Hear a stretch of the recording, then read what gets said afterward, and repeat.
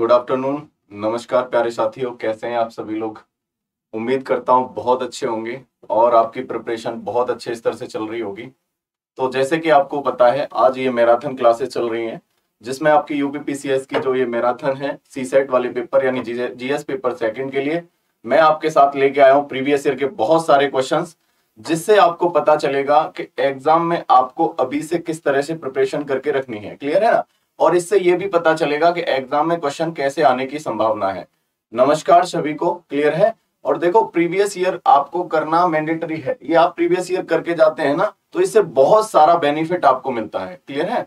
हाँ तो मैं आपके लिए लेके आ रहा हूँ प्रीवियस ईयर क्वेश्चन कल भी जैसे कि मैंने आपको कराए थे, जो स्टूडेंट पहली बार आप जुड़ रहे हैं तो वो लास्ट क्लास को भी देख लीजिएगा, जो इससे पहले क्लास हुई है, जिससे आपको कंप्लीट पूरा कंपाइल मिल जाए। जो अब तक प्रीवियस ईयर में क्वेश्चंस आए हुए हैं, वो पूरा आपको मिल सकता है। क्लियर है? तो सभी लोग जुड़ जाइए और फिर स्टार्ट करते हैं। गुड आफ्टरनून नमस्कार, राधे राधे। चलिए क्लियर है? तो देखिए, अभी जो मैं आपके साथ लेके आ रहा हूँ मैथ्स वाले प्रीवियस ईयर क्वेश्चन के लेके आ रहा हूँ, और सबसे पहले आपकी स्क्रीन के ऊपर ये रहा आपका पहला प्रश्न। तो सभी लोग जुड़ जाइए, और देखो, आपको पता भी होना चाहिए कि ये कब आया हुआ है। ये यूपीपीसीएस का पेपर है पीएससी का 2015 में ये आया हुआ क्वेश्चन है। क्लियर है? तो आप एक बार ध्यान से देखिएगा इस प्रश्न को और आप जवाब देने की कोशिश करिए कि इसका आंसर क्या हो सकता है।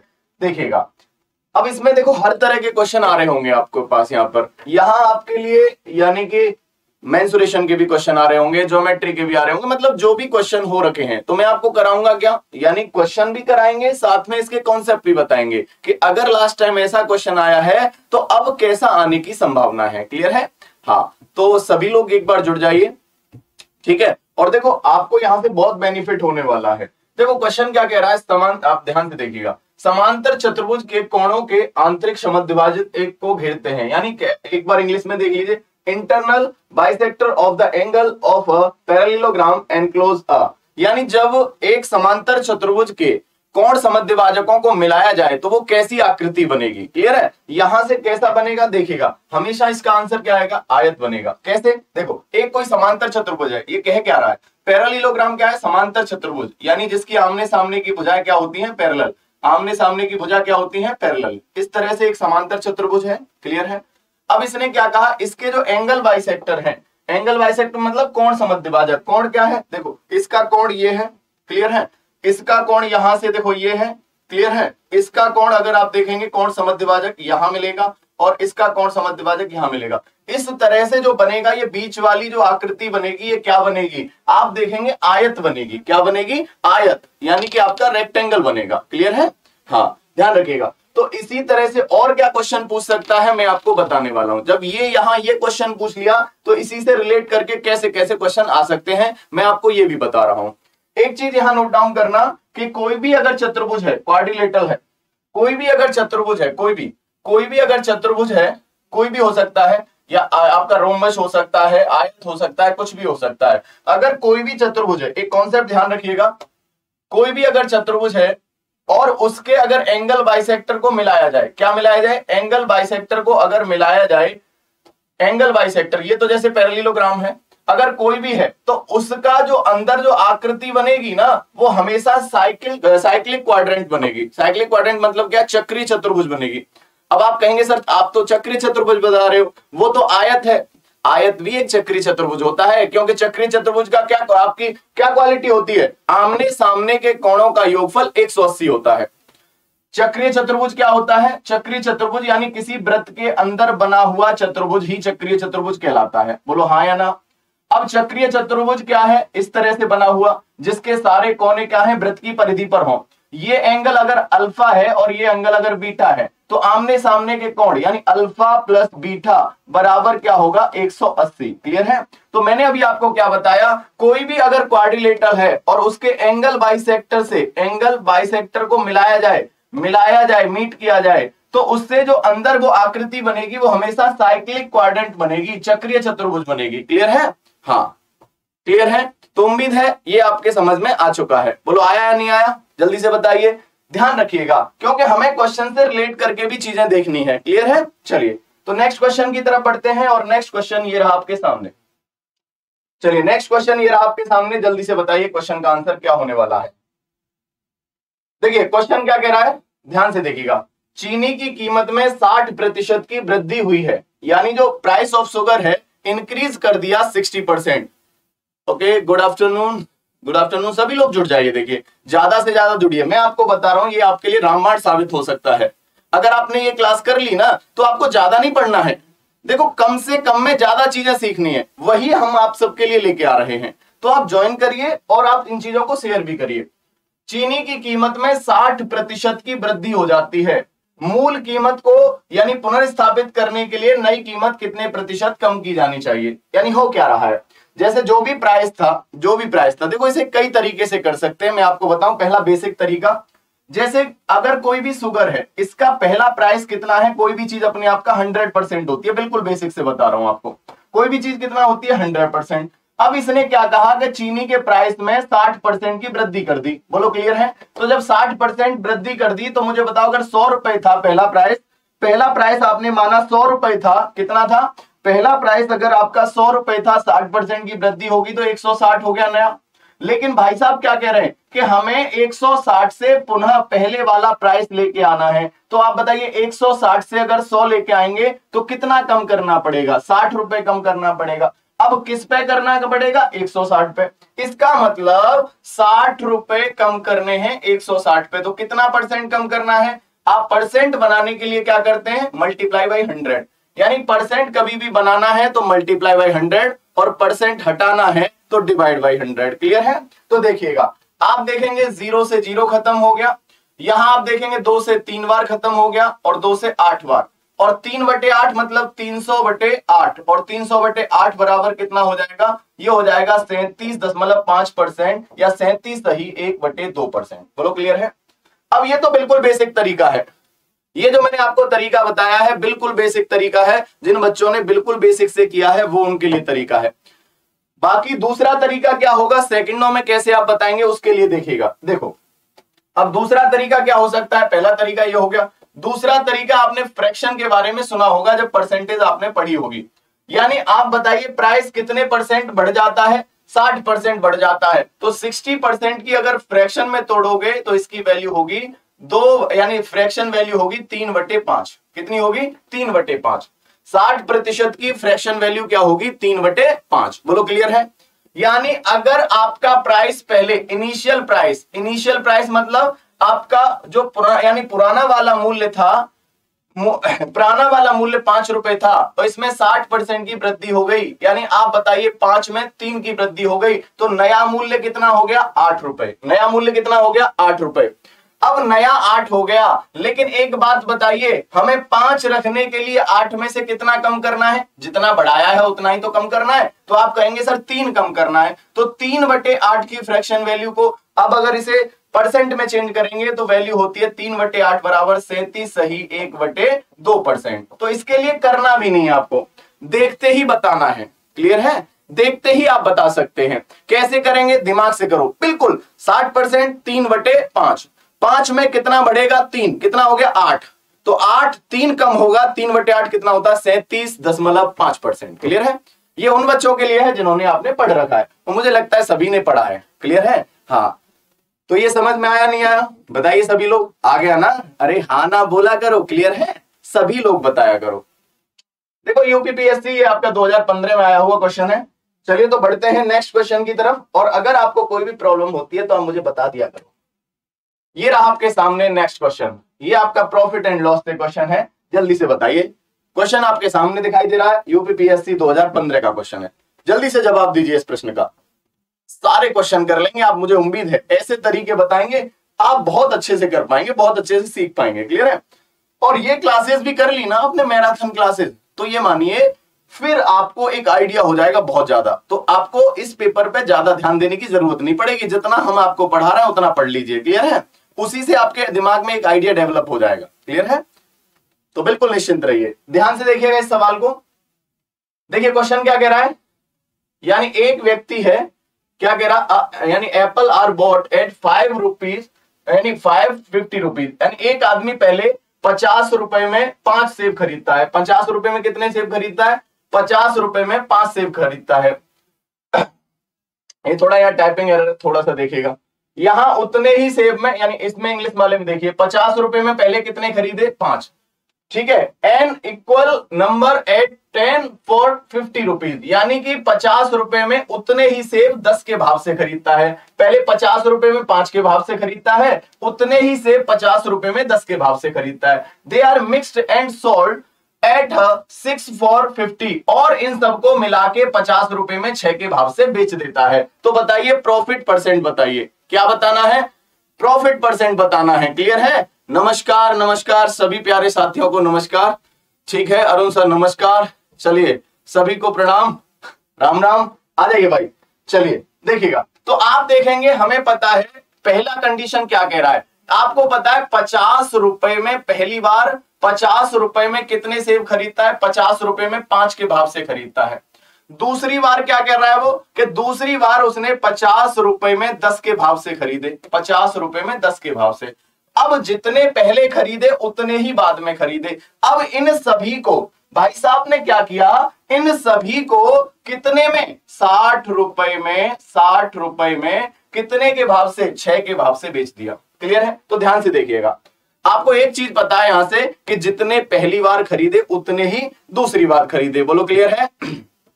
चलिए, देखो, आपको पता है, मुझे बताओ, यहाँ कितने सेब खरीद रहा है ये? पाँच। यहाँ कितने खरीद रहा है? दस और यहाँ कितना है? छह। तुम्हें एक चीज़ करनी है कि ये दोनों बराबर करने हैं। तो आप क्या किया करो? जितने खरीदता है और जितने बेचता है, उनका एलसीएम ले लो। तो देखो, छह, दस और पाँच, इनका एलसीएम कितना होगा? जल्दी बताओ, आप कहेंगे, सर, तीस होगा। तो इसे तीस बनाने के लिए क्या करना है? इसमें सिक्स से मल्टीप्लाई बोलो क्लियर जब यहाँ से करेंगे तो यहाँ भी सिक्स से मल्टीप्लाई करना पड़ेगा। इसे तीस बनाने के लिए तीन का गुना करना है तो यहाँ भी तीन का गुना करना है। बोलो क्लियर है? अब आप एक बात बताओ यहाँ आपने तीस सेब खरीदे, यहाँ आपने तीस खरीदे। तो मुझे बताओ, तीस और तीस कितने हो गए? साठ। कितने खरीदे? साठ। साठ अगर खरीदे हैं तो बेचोगे भी कितने? साठ। जितने खरीदे, उतने ही तो बेचोगे। तो आप बताइए, तीस ये खरीदे, तीस ये खरीदे तो बेचोगे कितने? साठ। तो इसे साठ बनाने के लिए दस का गुना करना पड़ेगा। बोलो हाँ या ना? तो इधर भी दस से गुना करना पड़ेगा। बोलो, इतनी बात समझ में आई या नहीं आई? अरे भैया इतनी बात आप सबके समझ में आई या नहीं आई? आप कहेंगे, जी सर, समझ में आई। देखो, अब आप मुझे बताओ, पहली बार कितने रुपए खर्च किए होंगे? पहली बार आप देखो, छह पंजे तीस, तीन सौ रुपए इसने यहाँ खर्च किए। बोलो हाँ या ना? यहाँ पाँच थी पंद्रह, डेढ़ सौ रुपए यहाँ खर्च किए। कुल मिला के कॉस्ट प्राइस कितना खर्च किया इसने? डेढ़ सौ और तीन सौ, साढ़े चार सौ। यानी अगर देखा जाए तो इसका कॉस्ट प्राइस कितना था? साढ़े चार सौ। बेसिक से बता रहा हूँ मैं आपको। आप बताइए, अब सेलिंग प्राइस कितना है? 600 सेलिंग प्राइस कितना है? 600 रुपए। बोलो हाँ या ना? अब साढ़े चार सौ रुपए की कोई चीज़ आप खरीदते हो और छह सौ रुपए में बेचते हो तो कितने का फ़ायदा हुआ? जल्दी बताओ। साढ़े चार सौ में खरीदा, छह सौ में बेचा तो कितने का फ़ायदा हुआ? आप कहेंगे, सर, डेढ़ सौ रुपए का फ़ायदा हुआ। कितने का फ़ायदा हुआ? इधर देखिएगा। डेढ़ सौ रुपए का फ़ायदा हुआ। गेन कितना हुआ? डेढ़ सौ। अब प्रॉफिट और लॉस यानी लाभ और हानि हमेशा किस पे होती है? जब भी बताओ। लाभ और हानि हमेशा किस पे होती है? आप कहेंगे, सर, क्रय मूल्य पर होती है। किस पर होती है? कॉस्ट प्राइस पे होती है। तो आपका कॉस्ट प्राइस कितना है? साढ़े चार सौ। तो डेढ़ सौ रुपए का फ़ायदा किस पे? साढ़े चार सौ पे। तो परसेंट बनाने के लिए सौ का गुना करेंगे। आप बताओ, डेढ़ सौ से कितने बार कट गया? तीन बार। तीन से सौ में भाग देंगे, कितना आएगा? तैतीस सही एक बटे तीन परसेंट। बोलो हाँ या ना? तैतीस सही एक बटे तीन परसेंट। क्या इतनी बात समझ में आई? सभी लोग बताइए, क्या इतनी बात समझ में आई? एक बार देख लीजिए। क्या इतनी बात समझ समझ में आई आपके? बोलो। क्या इतनी बात आप सबके समझ में आई? तो कर लेंगे ऐसे क्वेश्चन देखिए, आया हुआ क्वेश्चन है यूपीपीएससी 2000 कब आया है? पंद्रह में आया हुआ क्वेश्चन है। तो देखो, यहाँ से आपको कॉन्फिडेंट भी मिल रहा होगा कि चीज़ें कैसे कर सकते हैं। क्लियर है? हाँ। चलिए बहुत बहुत धन्यवाद। चलिए, सचिन, अंजलि, पिंकी, योगेंद्र, सभी बढ़िया बता रहे हैं। वेरी गुड चलिए तो नेक्स्ट क्वेश्चन की तरफ़ बढ़ते हैं और नेक्स्ट क्वेश्चन ये आपकी स्क्रीन के ऊपर। बताइए, जल्दी से जवाब दीजिए। बहुत ही प्यारा क्वेश्चन बढ़िया सुंदर सा सवाल है। क्लियर है? आपकी तरह ही सुंदर है, सब लोगों की तरह। समझ रहे हो ना?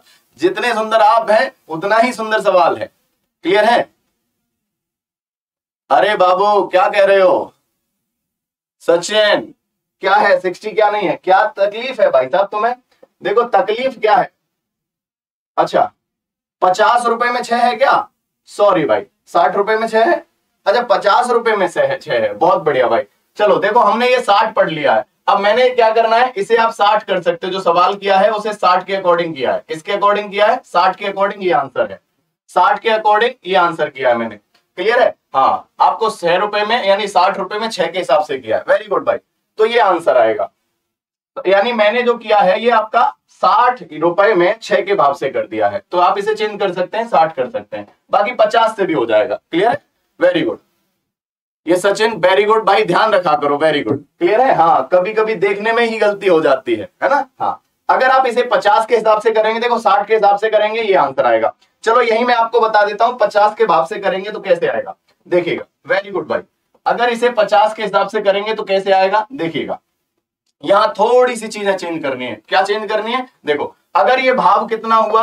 भाव ये जो बेचने वाला, अगर ये बेचने वाला भाव है, ये जो बेचने वाला, अगर पचास हुआ, कितना हुआ? पचास। ध्यान से देखिएगा। पचास रुपए में छह के भाव से अगर बेचता है, पचास रुपए में छह के भाव से अगर बेचता है तो आप बताइए, आपको पता है तीस यहाँ खरीदे, तीस यहाँ खरीदे। कितने खरीदे? साठ।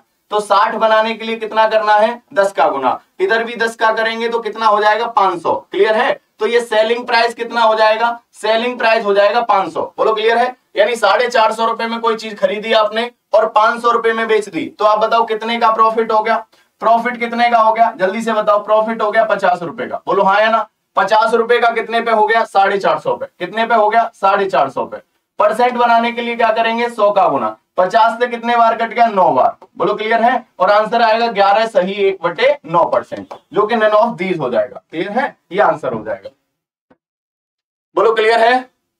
Very good very good Shahrukh Riti very good चलिए, समझ में आया? देखिए, एक बार फिर समझ लीजिए, देखो मैंने क्या किया? पचास रुपए में पाँच के भाव से खरीदता है या पचास रुपए में दस के भाव से खरीदता है? उतने सबको मिला के पचास रुपए में छह के भाव से बेच देता है। एक बार ध्यान से देखिए, पचास रुपए में पाँच खरीदे, पचास रुपए में दस खरीदे, सबको मिलाया, पचास रुपए में छह के भाव से बेच दिया। क्लियर है? तो आपने क्या करना है? पहले जितने सेव क्वांटिटी खरीदता, उसका एलसीएम लीजिए। तो छह, पाँच, दस, इनका एलसीएम कितना आ गया? आपने देखा तीस। इसे तीस बनाने के लिए छह से गुना इसे तीस बनाने के लिए दस से गुना और इसे आप देखो, तीस यहाँ खरीदे, तीस यहाँ खरीदे। तो बेचेगा कितने? साठ। तो साठ बनाने के लिए किससे गुना करना पड़ेगा? दस से करना पड़ेगा। बोलो हाँ या ना? अब आप देखो, छह से गुना करोगे, छह पंजे तीस, तीन सौ रुपए के यहाँ खरीदे। तीन से गुना करोगे, डेढ़ सौ रुपए के यहाँ खरीदे। तीन सौ डेढ़ सौ कितने हो गए? साढ़े चार सौ। अब यहाँ बेचे कितने रुपए में? पाँच सौ में। तो साढ़े चार सौ की चीज़ पाँच सौ में बेची, पचास रुपए का फ़ायदा, साढ़े चार सौ पे तो आंसर कितना आया? ग्यारह सही एक बटे नौ परसेंट। बोलो, क्लियर है? समझ में आया? कोई इशू नहीं है। अगर आप वो साठ के हिसाब से होता तो वो आंसर हो जाता। क्लियर है? चलिए तो नेक्स्ट क्वेश्चन ये रहा आपके सामने, बढ़िया भाई। ये रहा आपके सामने क्वेश्चन बढ़िया बताइए। और ध्यान से पढ़िएगा, बिल्कुल रिज़ल्ट निकलेगा, चीज़ें होंगी, सब कुछ अच्छे से होगा। Saru, Sarita, Riti, Babli, okay, Sachin, Pinki very good और जुड़े रहिएगा, देखिएगा, आनंद आएगा। ये जो मैराथन होने वाली है दो घंटे की, जो इस क्लास में आपको पता चलेगा, सच में आपने कितने कंसेप्ट सीख लिए और एग्ज़ाम से कितना सीख लिया है। क्लियर है? ये सब कुछ पता होगा। देखिएगा ध्यान से। 40 परसेंट एल्कोहल का मिश्रण प्राप्त करने के लिए 25 परसेंट एल्कोहल को 50 परसेंट के एल्कोहल में किस अनुपात में मिलाया जाए? देखो, इस तरह से था। जैसे मैंने कहा, भाई साहब, एक आपका कंटेनर था, उस कंटेनर में पहले 25 परसेंट एल्कोहल था। क्लियर है ना? हाँ एल्कोहल तो बहुत अच्छे से जानते हो आप। क्लियर है? कितनी क्वांटिटी होती है? कितने परसेंट होती है, पता है क्या? आप कहेंगे, सर, सब पता है। देखो सपोज़ मैंने कहा, एक शराब थी, उसमें 25 परसेंट का एल्कोहल था, दूसरी वाली में 50 परसेंट एल्कोहल था। इन दोनों को मिला दिया जाए तो हमें बनाना है कितने परसेंट? 40 परसेंट वाला बनाना है। तो किस अनुपात में मिलाया जाएगा? तो इसके लिए सबसे ज़बरदस्त तरीका मैं आपको बताने वाला हूँ, वो है एलिगेशन। क्या है? एलिगेशन। देखो वेरी गुड वीरू हमने क्या किया पहले? ये देखो, पहली वाली जो शराब थी, उसमें कितने परसेंट एल्कोहल था? 25 परसेंट। दूसरी वाली कितनी थी? 50 परसेंट। तो पहली वाली जो शराब थी, वो थी 25 परसेंट, भाई साहब। दूसरी वाली में एल्कोहल कितना था भाई साहब? 50 परसेंट। इन दोनों को मिला दिया। मिलाने के बाद में वो फाइनल जो आया, वो 40 परसेंट बनाना है हमें। कितना बनाना है? 40 परसेंट। यानी 25 परसेंट वाले को अगर 50 परसेंट के साथ मिला दिया जाए तो हमें बनाना कितना है? हमें बनाना है 40 परसेंट। अब ये क्या कहता है? हमेशा ध्यान रखिए। ऊपर क्या आता है? ऊपर आता है जो मिलाई जाती है चीज़ें। बीच में क्या आएगा? बीच में आएगा जो रिज़ल्ट कितने परसेंट बनाना है, कितने परसेंट नहीं बनाना है परसेंट भी हो सकता है प्राइस भी हो सकता है, कुछ भी हो सकता है। यहाँ परसेंट है तो हाँ हमने परसेंट लिख दिया। अब एलिगेशन क्या कहता है? एलिगेशन कहता है कि बड़ी में से छोटी घटा के क्रॉस में लिखो। क्लियर है? जैसे कि, देखिएगा देखिएगा एलिगेशन क्या कहता है? बड़ी में से छोटी घटा के क्रॉस में। तो देखो 50 में से 40 घटाओगे, कितना आएगा? 10 बोलो हाँ या ना? यहाँ 25 अगर घटेगा 40 में से तो कितना आएगा 15 बोलो हाँ या ना? तो रेशियो अगर कन्वर्ट करेंगे तो आंसर क्या आएगा? पाँच से कटेगा दो बार और पाँच से कटेगा तीन बार। यानी आंसर आएगा दो अनुपात तीन। क्या आएगा? दो अनुपात तीन। यानी पहले वाले कंटेनर का दो भाग लेंगे और दूसरे वाले कंटेनर का तीन भाग लेंगे। तो आंसर क्या आएगा? दो अनुपात तीन। क्या मेरी बात आप तक पहुँच रही है? बोलिए। क्या मेरी बात आप तक पहुँच रही है? हाँ बिल्कुल चलेंगे। देखो, सरिता, देखो, सबको ध्यान में रख लेना है मुझे। सभी को ध्यान में रख के आप बिल्कुल निश्चिंत रहिए, बहुत अच्छे से चलेंगे। हाँ आप बिल्कुल निश्चिंत रहिए, ठीक है? तो चलिए तो नेक्स्ट क्वेश्चन ये रहा आपके सामने। जल्दी से बताइए, जवाब क्या होगा? ध्यान से देखिएगा, इस प्रश्न का जवाब क्या होगा? सभी लोग बताओ। अच्छा अच्छा कुछ कर दिया क्या? देखो तो ये कह रहा है कि क्या कह रहा है?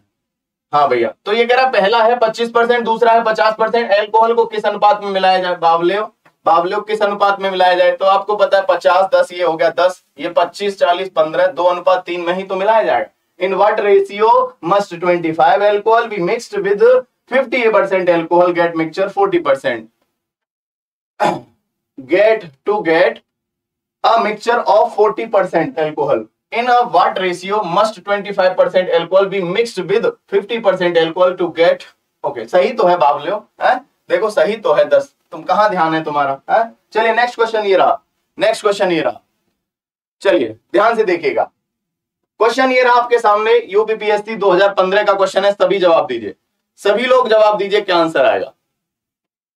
वेरी गुड देखिए क्वेश्चन क्या कह रहा है? आठ हज़ार रुपए, पाँच प्रतिशत वर्ष, यानी पाँच प्रतिशत वार्षिक दर से। देखो, थोड़ा एरर है टाइपिंग एरर है, आप ध्यान मत दीजिएगा, है ना? हाँ। The difference between the compound interest and the simple interest for three years at five percent per annum on eight thousand यानी आठ हज़ार रुपए हैं आपके पास में। पाँच प्रतिशत वार्षिक ब्याज की दर से आप सीआई चक्रवर्ती ब्याज और साधारण ब्याज का अंतर बताइए। तो आपको मैंने एक, कल तरीका बताया था। आप ध्यान रखिएगा नंबरिंग मैंने बताई थी। दो साल के लिए नंबर क्या बताया था? 21 बताया था। बोलो हाँ है ना? तीन साल के लिए एक नंबर मैंने बताया था आपको, तीन सौ इकतीस। चार साल के लिए आपको एक नंबर मैंने बताया था क्या? छियालीस, इकतालीस। बताया था, नहीं बताया था? बोलो हाँ है ना? अब मैंने क्या कहा? ये कितने साल की बता रहा है? ये तीन वर्ष की बता रहा है। किसकी बता रहा है? तीन वर्ष। तो सेकेंडों में कैसे निकालेंगे? देखिएगा। तीन वर्ष के लिए तीन सौ इकतीस है या नहीं है? बोला, आप कहेंगे, जी सर। तो आप मुझे एक चीज़ बताइए। क्या बताएँगे आप? देखो, रुपए कितने हैं? रेट परसेंट कितनी है? रेट परसेंट है पाँच परसेंट कितना है? पाँच परसेंट पाँच परसेंट की फ्रैक्शन क्या होती है? एक बटे बीस। यहाँ आप मुझे बताओ प्रिंसिपल कितना है? आठ हज़ार रुपए। कितना है? आठ हज़ार। बोलो क्लियर है? अब तीन वर्ष की बात करेंगे तो तीन सौ इकतीस होता है। तीन साल के लिए क्या रिज़ल्ट बताया? तीन सौ इकतीस। बोलो क्लियर है? आप मुझे बताओ पहले क्या करेंगे? पहले आठ हज़ार का एक बटे बीस करेंगे। तो आठ हज़ार का एक बटे बीस करोगे तो कितना हो जाएगा? आप कहेंगे, सर, ये हो जाएगा चार सौ रुपए। बोलो क्लियर है?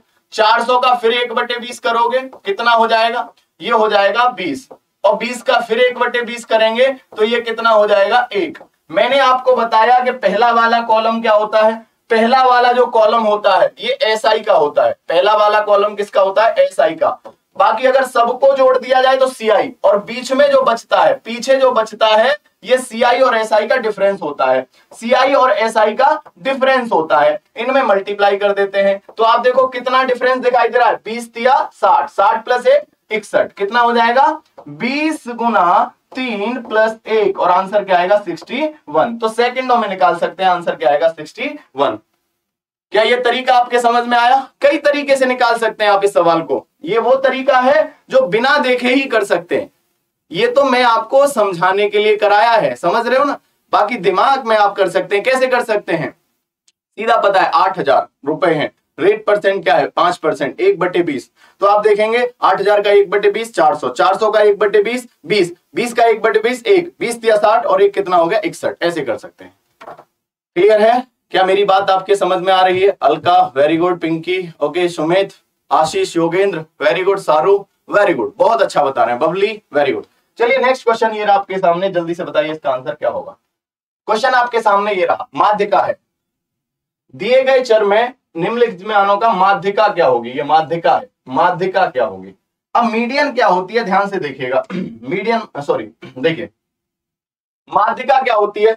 अगर कभी भी आपको जो डाटा दे रखा है, उसकी माध्यिका निकालनी है तो क्या करना है आपको? पहले या तो उन्हें आरोही क्रम में लिख दीजिए, अवरोही क्रम में। यानी बढ़ते हुए क्रम में लिखो और फिर या फिर घटते हुए क्रम में। क्लियर है? तो पहले तो हम इन्हें बढ़ते हुए क्रम में लिखेंगे। तो सबसे पहले क्या आएगा? देखिए, सबसे पहले क्या आएगा? पाँच। बोलो हाँ या ना? उसके बाद क्या आएगा? आठ। पाँच के बाद आठ। उसके बाद क्या आएगा? देखिए, फिर क्या आएगा आपका दस। बोलो क्लियर है? उसके बाद क्या आएगा आपका तेरह। क्या आएगा? तेरह। तेरह के बाद आप देखेंगे क्या आएगा? तेरह के बाद आएगा सत्रह। बोलो क्लियर है? सत्रह के बाद क्या आएगा आपका इक्कीस। बोलो क्लियर है? इक्कीस के बाद क्या आएगा? देखिए, इक्कीस के बाद आएगा आपका सत्ताईस। बोलो हाँ या ना? सभी लोग बताइए। सत्ताईस के बाद में क्या आएगा आपका तीस? तीस आएगा। और तीस के बाद में आप देखेंगे क्या आएगा? तैतीस। और तैतीस के बाद में आप देखेंगे क्या आएगा? तैतीस के बाद में बयालीस। बोलो हाँ है ना? गिन लीजिए। एक, दो, तीन, चार, पाँच, छह, सात, आठ, नौ, दस। यहाँ भी दस है क्या? एक, दो, तीन, चार, पाँच, छह, सात, आठ, नौ, दस। अब देखो, माध्यिका निकालने की दो चीज़ें हैं। अगर नंबर एन बराबर, अगर एन बराबर अगर कोई इवन नंबर है, क्या है? एन बराबर अगर इवन नंबर है तो माध्यिका क्या होती है? मीडियन क्या होती है? माध्यिका होती है एन बटे दोवा पद। एन बटे दोवा टर्म टर्म, टी टर्म हो गया, प्लस एन बटे दो प्लस वनवा टर्म टर्म, ठीक है? अपॉन टू, ये क्या है? ये कब रिज़ल्ट होगा? जब एन क्या है? इवन नंबर है। एन क्या है? Even number. तो मुझे बताओ, ये एन नंबर कितने हैं? इवन है या ऑड है? सम है या विषम है? आप कहेंगे, सर, सम है, क्योंकि दस सम है। तो आप देखोगे, माध्यिका क्या होगी? माध्यिका क्या होगी? दस बटे दोवा पद। क्या होगा? दस बटे दोवा पद। दोवा पद प्लस क्या है? दस बटे दो प्लस वनवा पद। बोलो क्लियर है? आपको डिटेल में बता रहा हूँ। बटे दो। तो आप देखें दसवां यानी पांचवा पद। इससे क्या मतलब है? पांचवा पद प्लस छठवां पद। तो पांचवा क्या है? एक, दो, तीन, चार, पाँच। पांचवा पद क्या है? सत्रह। छठवां पद क्या है? इक्कीस। सत्रह प्लस इक्कीस बटे दो। और ये कितना हो जाएगा? अड़तीस। और अड़तीस बटे दो मतलब आंसर आएगा उन्नीस। आंसर क्या आएगा? उन्नीस। ये आंसर आएगा। बहुत सारे बच्चे गलत जवाब भी दे रहे हैं। क्लियर है? हाँ। आंसर आएगा उन्नीस। जिनका सत्रह आ रहा है, वो बिल्कुल गलत है। आंसर क्या आएगा? उन्नीस आएगा। बोलो क्लियर है? क्या मेरी बात समझ में आई? अगर एन आपका इवन है तो रिज़ल्ट क्या होगा? एन बटे दो पद प्लस एन बटे दो प्लस वनवा पद बटे दो। ये आपकी माध्यिका हो जाएगी। बोलो हाँ या ना? सभी लोग बताइए। क्या इतनी बात समझ में आई? अरे भैया, इतनी बात आपके समझ में आई या नहीं आई? बोलो हाँ या ना? अगर एन बराबर, यहीं से एक और चीज़ देख लो, यहीं से एक और चीज़ सीख लो कि अगर एन बराबर एन बराबर क्या है? एन बराबर अगर ऑड नंबर है, कैसा नंबर है? ऑड नंबर है। तो आप देखेंगे माध्यिका बराबर क्या होगा? माध्यिका बराबर क्या होगा? आप देखेंगे माध्यिका बराबर एन बटे दोवा पद। क्या होगा? एन बटे दोवा पद। ये आपकी माध्यिका हो जाएगी। अगर आपका एन क्या है? ऑड नंबर है। बोलो क्लियर है? हाँ या ना? क्लियर है? बताइए। बोलो क्लियर है? यहाँ एक और रिज़ल्ट बताया था, इससे स्टेटिस्टिक्स से एक कई बार पूछा जाता है, ये ध्यान रखिएगा। क्या बताया था? मैंने बताया था, मोड मोड मतलब क्या है? बहुलक। बहुलक बराबर, ध्यान रखिएगा, तीन गुना मीडियन मीडियन मतलब माध्यिका माइनस दो गुना, आप देखेंगे दो गुना, यानी मोड। बहुलक बराबर क्या होगा? बहुलक बराबर क्या होगा? हाँ बहुलक बराबर क्या होगा? तीन गुना मीडियन इंटू माइनस दो गुना मीन मीन मतलब माध्य। मीन मतलब माध्य। ये आप रिज़ल्ट ध्यान रखिएगा। बहुलक बराबर तीन गुना माध्य का माइनस दो गुना माध्य। ये कई बार पूछा जाता है। ये कई बार पूछा जाता है तो इसे ध्यान रखिएगा। क्लियर है? इनमें से कोई दो वैल्यू दे देगा, तीसरी पूछ लेगा। हिंदी में क्या है बहुलक बराबर तीन गुना माध्य का माइनस दो गुना माध्य। बोलो क्लियर है? कई बार आया इस पर सवाल। क्लियर है? चलिए। अगर क्लियर है तो नेक्स्ट क्वेश्चन ये रहा आपके सामने। बताइए, सवाल का जवाब क्या होगा? क्वेश्चन आपके सामने आ चुका है, जल्दी से जवाब बताइए। इस सवाल का जवाब सभी लोग बताओ। अरे जवाब दो, और आपको हताश और निराश बिल्कुल नहीं हो रहा। बिल्कुल नहीं होना है, समझ रहे ना? बस मेहनत करते रहिए, हमारे साथ बने रहिए, और घर पे सेल्फ स्टडी करते रहिए। एक दिन सब कुछ आपका होगा। क्लियर है? समझ रहे ना? जो आज है नहीं, फिर भी वो आपका होगा। क्लियर है? चलिए वेरी गुड बहुलक, सरिता बिल्कुल सही कह रही है। तीन गुना माध्य का है बेटो, तीन गुना माध्य का है। आपने थोड़ा सा मिस कर दिया। चलिए, देखिएगा, सवाल क्या कह रहा है? जब ये संख्या को माइनस तीन बटे दो एक्स प्लस एक से विभाजित किया जाता है तो शेषफल क्या आएगा? शेषफल। तो देखो, इस तरह से अगर आपका कभी भी भाग दिलवा रहा है, इस तरह से कोई भी समीकरण है, उसमें अगर आपको दे रखा है कि ये समीकरण में इससे भाग देना है तो शेषफल क्या आएगा? तो जिससे भाग दे रहे हैं, उसे आप ज़ीरो के बराबर रखिए पहले। तो वहाँ से जो आपकी एक्स की वैल्यू है, उसे निकालिए। तो देखो माइनस का तीन बटे दो एक्स प्लस वन बराबर ज़ीरो रखोगे तो एक्स बराबर क्या आएगा? एक्स बराबर क्या आएगा? आप देखेंगे ये माइनस उधर चला जाएगा माइनस से माइनस खत्म हो जाएगा, जो दो बटे तीन आएगा। बोलो, आएगा या नहीं आएगा? सभी लोग बताओ। यहाँ इसे सॉल्व करेंगे तो एक्स बराबर दो बटे तीन आएगा या नहीं आएगा? सभी लोग बताओ, आएगा या नहीं आएगा? हाँ या ना? बोलो क्लियर है? क्लियर है? तो अब आप इस x की वैल्यू को जो समीकरण दिया है, उसमें रख दीजिए और जो आंसर आए सॉल्व करके, वही आपका शेषफल होगा। वही आपका शेषफल होगा। बोलो क्लियर है? तो जब x बराबर दो बटे तीन इस समीकरण में रखेंगे आप इक्वेशन में पुट करेंगे तो देखिए आंसर क्या आएगा? आंसर क्या आएगा देखिएगा। यहाँ दो बटे तीन, यानी दो बटे तीन का क्यू मैं लिख दे रहा हूँ, दो बटे तीन का क्यू इस दो बटे तीन का क्यू प्लस क्या करना है? प्लस करना सॉरी माइनस है। ये क्या है? माइनस क्या है? माइनस देखिएगा। माइनस कितना है? देखिएगा माइनस कितना है? Minus six x six x square तो छह गुना दो बटे तीन का स्क्वायर बोलो हाँ या ना? अरे हाँ ना, बोला करो मेरे साथ। प्लस दो एक्स प्लस दो गुना दो बटे तीन। बोलो क्लियर है? माइनस कितना है? चार। माइनस कितना है? चार। तो आप इसे देखेंगे एक बार, ये कितना हो जाएगा? आठ बटे सत्ताईस। बोलो हाँ है ना? आठ बटे सत्ताईस माइनस इसे करेंगे चार छिके चौबीस। चौबीस बटे नौ हो जाएगा। ये प्लस करेंगे दो दूनी, चार बटे तीन हो जाएगा। माइनस का कितना हो जाएगा चार। बोलो क्लियर है? जब इसे फिर से सोल्व करेंगे तो आप देखेंगे फिर से जब सोल्व कर रहे होंगे तो आप देखो एलसीएम कितना आएगा? ट्वेंटी सेवन एलसीएम कितना आएगा? ट्वेंटी सेवन बोलो हाँ है ना? अब देखो ट्वेंटी सेवन आएगा तो ये क्या हो जाएगा? एट माइनस आप देखोगे नौ तीस सत्ताईस, तीन से गुना करेंगे तो चार, तीन, बारह। फिर तीन दूनी, छह छह और एक कितना हो गया? सात। बहत्तर हो गया। बोलो क्लियर है? यहाँ तीन से करेंगे तो नौ, फिर नौ से करेंगे नौ चौक, छत्तीस प्लस का आ जाएगा। माइनस का कितना हो जाएगा? सत्ताईस गुना चार। तो सात चौक, अट्ठाईस और चार दूनी, आठ। आठ और दो कितना हो गया? दस, एक सौ आठ। जब इसे सॉल्व कर रहे होंगे आप, जब इसे सॉल्व करेंगे तो आंसर क्या आएगा? माइनस का एक सौ छत्तीस बटे सत्ताईस। और ये ऑप्शन कौन सा दिखाई दे रहा है? बी ये आपका आंसर हो जाएगा। जब इसे सॉल्व करेंगे आंसर ये आ गया तो ये आपका उत्तर है। क्लियर है? क्या मेरी बात समझ में आई? अगर इस तरह से कभी भी आपको दिया हुआ है, कोई समीकरण दिया है, और शेषफल आपसे पूछा गया है, बिटू माइनस का आएगा, माइनस का 136 बटे सत्ताईस आएगा, माइनस का 136 बटे सत्ताईस आएगा। तो आपको क्या करना है? उसमें से जो आपकी वेरिएबल नंबर है, उसकी आपको वैल्यू निकालनी है पुट कर देना है। क्लियर है? अगर रिमाइंड यानी अगर पुट करने पे आंसर ज़ीरो आए तो वह पूरी पूर्णतः विभाजित है। कभी ये भी पूछ लेता है कि ये पूर्णतः विभाजित है या नहीं है। अगर आंसर सॉल्व करने पर ज़ीरो आ जाए तो वो पूर्णतः विभाजित है, और ज़ीरो ना आए तो वो उसका शेषफल है। क्लियर है? सभी लोग बताइए। क्या इतनी बात मेरी समझ में आ रही है? चलिए, समझ में आ रही है तो नेक्स्ट क्वेश्चन की तरफ़ बढ़ते हैं। ये रहा नेक्स्ट क्वेश्चन बहुत ही प्यारा क्वेश्चन बढ़िया क्वेश्चन शानदार क्वेश्चन आपके सामने हाजिर है। तो आप इसे एक बार प्यार से देखिएगा और आंसर क्या आएगा। जल्दी से बताइए सवाल का जवाब। जल्दी से बताइए। देखिए, प्रेम से देखोगे, ये भी आपको प्रेम से देखेगा। क्लियर है ना? प्रेम में बड़ी ताकत है। आप इसे प्रेम से देखिएगा। ये आप बातें करेगा आपसे। आपसे खुद कहेगा, मेरा आंसर ये है, मेरा आंसर ये है। कब? जब आप इसे प्रेम से हैंडल करेंगे। चलिए तो दो बेलनों की त्रिज्या का अनुपात, यानी दो सिलेंडर हैं, उनकी रेडियस का रेशियो ये दिखाई दे रहा है, दो अनुपात तीन क्लियर है? और उनकी हाइट हाइट मतलब ऊंचाइयों का अनुपात पाँच, अनुपात तीन है। बोलो क्लियर है? उनके आयतनों का अनुपात बताओ वॉल्यूम का रेशियो बताओ। तो भैया, कौन बताएगा? ये बताओ, बेलन का आयतन क्या होता है? सब लोग बताइए।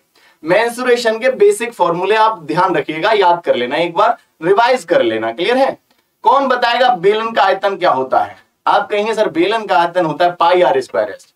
आप देखेंगे, सिलेंडर का वॉल्यूम क्या होता है? सिलेंडर का वॉल्यूम क्या होता है? Pi r square h. यही होता है ना? आपने यही पढ़ा है ना? बोलो हाँ या ना? आप कहेंगे, जी, सर।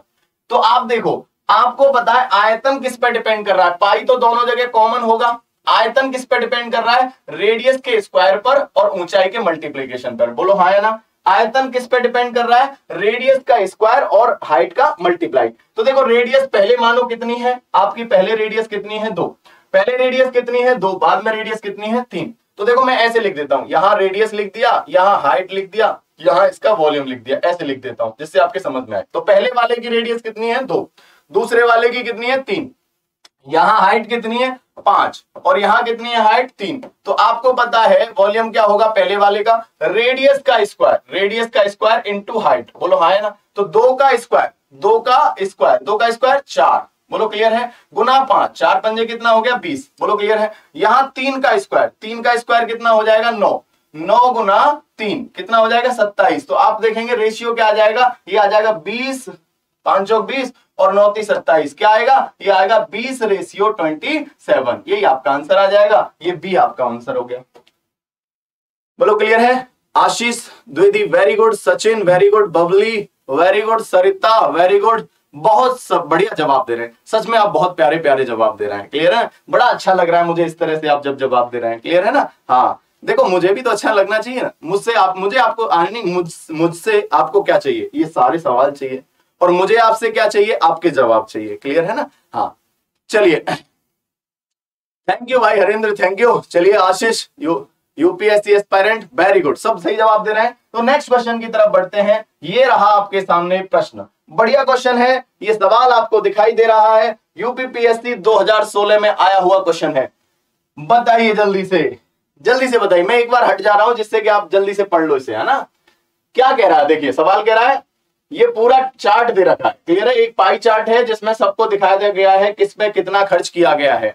उसमें आपको क्या कह रहा है, यदि परिवार की मासिक आय कितने रुपए है? तीस हज़ार आठ सौ रुपए। कितना कमा रहे हैं? तीस हज़ार आठ सौ। आप कहेंगे, बहुत कम पड़ जाएगा सर हमारे लिए तो। टेंशन ना लो, आप लाख रुपए भी कमाएँगे, दो लाख भी कमाएँगे, पाँच लाख भी कमाएँगे। क्लियर है? लेकिन उस कमाई के साथ में अगर आपने लोगों का प्यार जीता तो वो कमाई आपकी अल्टीमेट होगी। क्लियर है? ये पैसा तो ज़रूरी है, पैसा ज़रूरत है, लेकिन उसके साथ में लोगों के अगर आपने प्रेम को आपने हासिल कर पाया तो वो बहुत ज़रूरी है। क्लियर है? तो देखिएगा सवाल। तीस हज़ार आठ सौ रुपए। कितने रुपए? तीस हज़ार आठ सौ। अब इसने क्या कह रहा है कि हाउस रेंट पर कितना खर्च किया? किस पर पूछा इसने? हाउस रेंट पर कितना खर्च किया? तो बताओ जल्दी से हाउस रेंट की, यानी किससे रिप्रेजेंट हो रहा है? एफ़ से। और एफ़ बराबर कितना है? ये पंद्रह परसेंट। एफ़ बराबर कितना है? पंद्रह परसेंट। इसका मतलब हाउस रेंट पर कितना खर्च हुआ? तीस हज़ार आठ सौ रुपए का पंद्रह परसेंट परसेंट परसेंट हटाते हैं तो क्या करते हैं? Divide by hundred double zero से डबल ज़ीरो खत्म हो गया। आप ये मल्टीप्लाई करेंगे तो पंद्रह अट्ठे एक सौ बीस.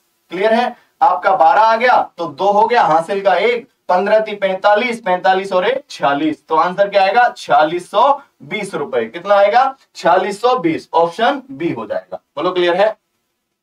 अरे, बोलिए हाँ या ना? सभी लोग बताइए। अरे, क्लियर है क्या? बोलो।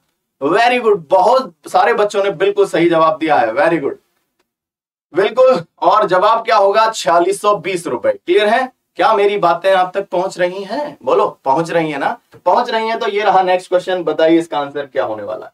ये रहा आपके सामने नेक्स्ट क्वेश्चन जवाब दीजिए क्लियर है ना? और देखिए पढ़ते रहिएगा आप भी अपने जो भी नोट्स बनाए हैं उनका रिवीजन करिएगा। क्लियर है? साथ में मैं और मे, आप मेरे साथ में मेरे साथी सारी सभी लोग आपको प्रीवियस ईयर के क्वेश्चंस और मैराथन लेके आ रहे हैं वो सबको आपको करा रहे हैं उनकी क्लासेस लीजिएगा। क्लियर है? बहुत बेनिफिट होगा आपको। जल्दी से बताइए सवाल का जवाब क्या होगा? सभी लोग बताइए। पंद्रह कहाँ से आया? सारू, एक बार देखो भैया, ध्यान से देखोगे, देखो हाउस रेंट एफ़ से रिप्रेजेंट हो रहा है बेटो। हाउस रेंट भैया एफ़ से रिप्रेजेंट हो रहा है। और एफ़ की वैल्यू यहाँ पंद्रह परसेंट है, इस चार्ट में से आया पंद्रह परसेंट। देखो एफ़ बराबर पंद्रह, ये डी बराबर दस ए बराबर पच्चीस सी बराबर अठारह बी बराबर बारह, ये दिखाई दे रहा है ना? इस चार्ट में से लिया सारू हमने। क्लियर है? समझ में आया कहाँ से लिया? अरे, समझ में आया नहीं आया। बोलो हाँ या ना? क्लियर है ना? चलो तो। नेक्स्ट क्वेश्चन ये था हमारा, जल्दी बताइए इसका जवाब। यदि ए की मासिक आय बी की तुलना में 40 प्रतिशत अधिक है तो बी की आय ए की तुलना में कितने प्रतिशत कम है? बहुत आसान सा सवाल है। सेकंडों में उड़ा देंगे आप इसे। क्लियर है? हाँ। बहुत आसानी से उड़ा देंगे। चलिए, देखिएगा। जल्दी से बताइए। इनकी पीडीएफ में मिल जाएँगे, आपको बिल्कुल टेंशन ना लें। देखिएगा, आप देखोगा, आप देखो देखो if A's monthly income is 40 percent more than that of B how much percent of B's income is less than less than A देखो, आपको क्या करना है? ए की मासिक आय बी की तुलना में 40 परसेंट अधिक है। ए की जो है 40 परसेंट अधिक है बी की तुलना में। किससे कंपेयर कर रहा है? बी से। तो 40 परसेंट बराबर फ्रैक्शन वैल्यू आपको पता होना चाहिए कितना होता है। देखो, पहले बेसिक बताऊँ या फ्रैक्शन? आप कहेंगे, सर, फ्रैक्शन बता दो। 40 परसेंट कितना होता है? 40 परसेंट होता है दो बटे पाँच। अब ये कह रहा है, ए की मासिक आय बी की तुलना में 40 परसेंट अधिक है। अगर जिससे कंपैरिजन किया जाता है, जिससे तुलना की जाती है, वो हमेशा नीचे आता है। अगर जिस किसी से आप कंपैरिजन करेंगे, वो आपके फ्रैक्शन में नीचे वाला होगा। तो कंपैरिजन किससे किया जा रहा है? बी से। तो बी का मान कितना मान लिया? पाँच। बोलो, हा है ना? अब ये पाँच से दो अधिक है। पाँच से कितना अधिक है? दो अधिक है। तो ए की वैल्यू कितनी हो जाएगी? जल्दी बताओ, सात। बोलो हाँ या ना? अरे हाँ या ना? यानी ए है सात इनकम और बी की है पाँच इनकम। तो ये कह रहा है, जो सात से पाँच कितना कम है? तो आप कहेंगे, सर, कम कितना है ये? दो। किस से कम देखना है? ए से। तो दो जो है, सात का कितना परसेंट परसेंट बनाने के लिए मल्टीप्लाई बाय हंड्रेड तो आंसर आएगा कितना? आप कहेंगे, सर, अट्ठाईस सही चार बटे सात परसेंट और ये आपका ऑप्शन कौन सा है? सी ऑप्शन कौन सा है? सी वेरी गुड भाई सारू वेरी गुड हाँ वेरी गुड भाई वेरी गुड चलिए. Very good Gautam study point भाई बहुत बढ़िया. सनू वेरी गुड चलिए.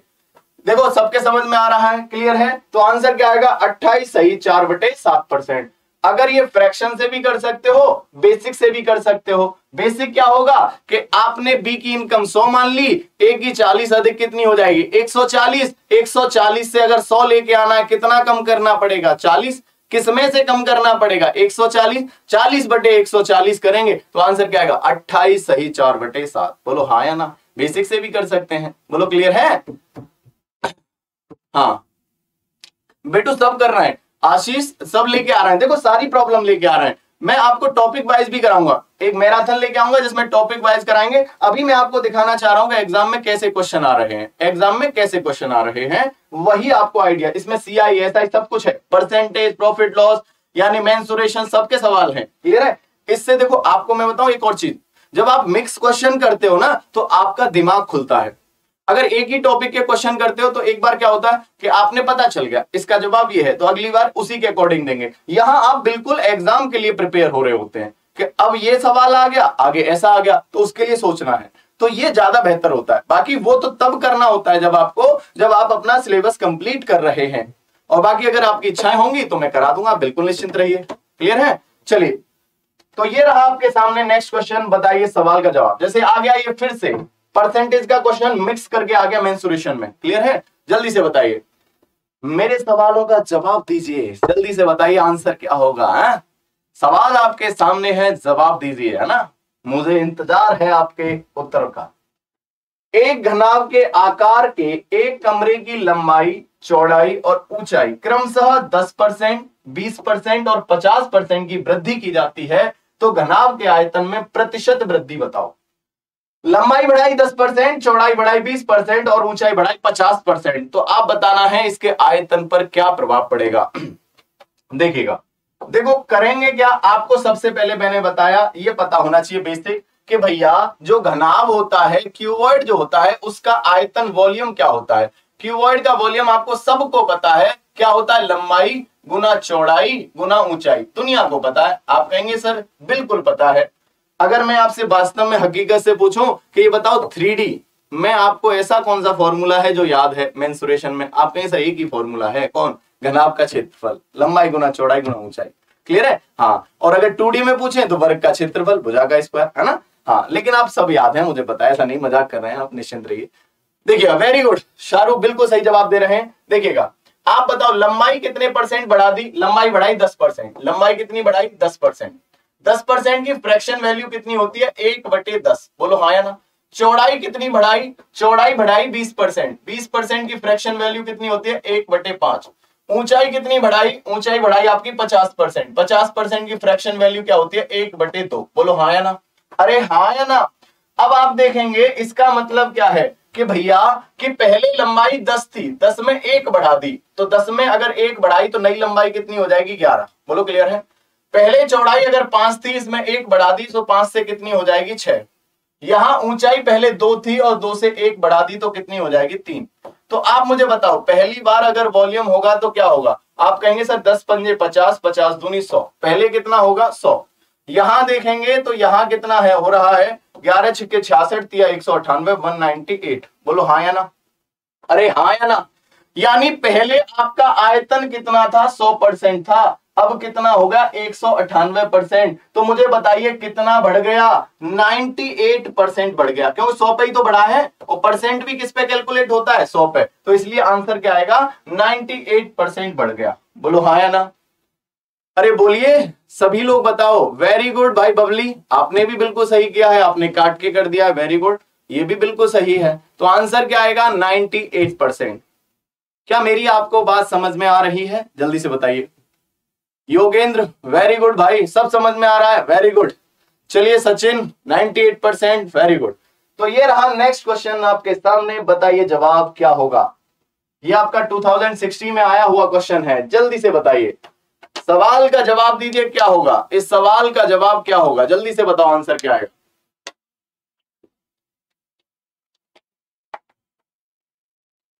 जल्दी से बताइए, क्या आंसर आएगा? देखिए, बहुत सारी चीज़ें सीखोगे यहाँ से आप। सच बता रहे हैं, बहुत सारे कॉन्सेप्ट सीखोगे, बहुत सारे आपको पता चलेगा एग्ज़ाम में क्वेश्चन कैसे आते हैं। यदि एक घन की प्रत्येक किनारे को 50 प्रतिशत बढ़ा दिया जाता है तो सतह के, सतह में क्षेत्रफल यानी सतह के क्षेत्रफल में, क्षेत्र में प्रतिशत वृद्धि बताइए। कहने का मतलब एज का मतलब क्या है? यदि प्रत्येक भुजा को आपने बढ़ा दिया कितने परसेंट? पचास परसेंट। क्लियर है? कितना परसेंट वेरी गुड भाई शाहरुख शाहरुख बहुत अच्छे से जवाब दे रही हैं, बहुत अच्छे से प्रिपरेशन कर रखा है इन्होंने। अंजलि भी बढ़िया जवाब दे रहा है, बबली भी, रीना भी, ये सब लोग बहुत अच्छे से जवाब दे रहे हैं। रीति वेरी गुड सच में आप बहुत अच्छा कर रहे हैं। वेरी गुड देखिएगा। देखिए देखिए भैया। अगर आपसे बात करें, अगर आपसे बात करें तो देखो, ये क्या कह रहा है? यदि घन की भुजा एक किनारा एज का मतलब क्या है? भुजा को अगर 50 परसेंट बढ़ा दिया जाए तो क्षेत्रफल, सतह का क्षेत्रफल, एक सतह का क्षेत्रफल। तो आप देखोगा, आप देखेगा घन है। घन की एक, यानी प्रत्येक सतह का क्षेत्रफल यहाँ क्या है? Percentage increase in the surface area surface area है, यानी आपके यानी जो सरफेस है सतह का क्षेत्रफल क्लियर है? हाँ। तो देखो, आपने पता करना है, आपका क्षेत्रफल जो होता है घन का घन का जो आप देखेंगे, सतह का क्षेत्रफल हो जाएगा भुजा स्क्वायर साइड का स्क्वायर यानी साइड के स्क्वायर पर डिपेंड करेगा। किस पर डिपेंड करेगा? साइड के स्क्वायर पर डिपेंड करेगा। यानी आपका जो एरिया डिपेंड करेगा साइड के स्क्वायर पे डिपेंड करेगा। तो यहाँ किसकी ज़रूरत पड़ेगी? साइड की। तो साइड कितने परसेंट बढ़ा दिया? आपको पता है सर पचास परसेंट बढ़ा दिया। कितना बढ़ा दिया? पचास परसेंट तो 50 परसेंट की फ्रैक्शन वैल्यू कितनी होती है? एक बटे दो। यानी पहले साइड अगर दो थी तो बाद में दो से कितनी कर दी? तीन। दो से कितनी कर दी? तीन। तो एरिया यहाँ देखेंगे, दो का स्क्वायर कितना हो गया? दो का स्क्वायर कितना है? चार। यहाँ आप देखेंगे, तीन का स्क्वायर कितना है? नौ। तो आप बताइए, चार से अगर नौ हो गया, कितना बढ़ गया? पाँच। कितना बढ़ गया? पाँच। पाँच किस पे बड़ा है चार पे। तो पाँच जो है, चार का कितना परसेंट परसेंट बनाने के लिए क्या करेंगे? मल्टीप्लाई बाय हंड्रेड और आंसर आ जाएगा एक सौ पच्चीस परसेंट एक सौ पच्चीस परसेंट बोलो हाँ ना? एक तो बेसिक तरीका ये है।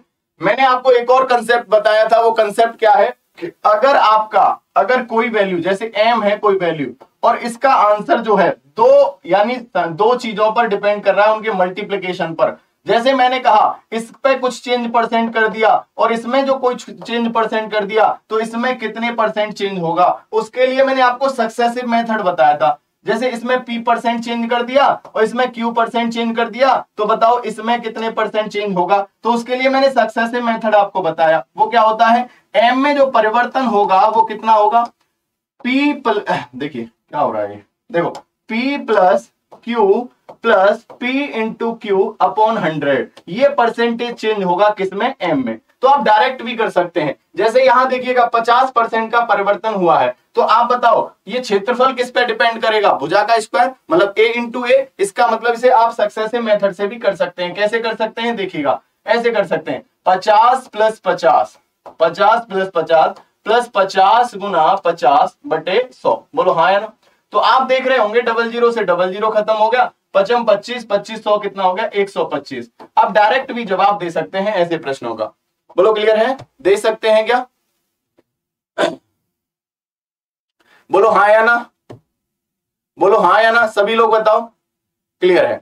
चलिए हाँ बिल्कुल, बबली ले आएँगे स्टेटिटिक्स ले आएँगे। आप बिल्कुल निश्चिंत रहिए स्टेटिटिक्स का किसी दिन एक एक्स्ट्रा क्लास में करा देंगे, आप निश्चिंत रहिए। आप अपनी डिमांड बताइए, आपके कहाँ कहाँ, कौन सा टॉपिक कमज़ोर है, मैं आपको उसी तरह से ले आऊँगा। मैराथन क्लास लेके आएँगे टॉपिक वाइज किसी दिन ले आएँगे, किसी दिन स्टेटिटिक्स ले आएँगे, ठीक है? जो आपका टॉपिक कमज़ोर होगा, उसे ले आएँगे। चलिए नेक्स्ट क्वेश्चन ये रहा, बताइए।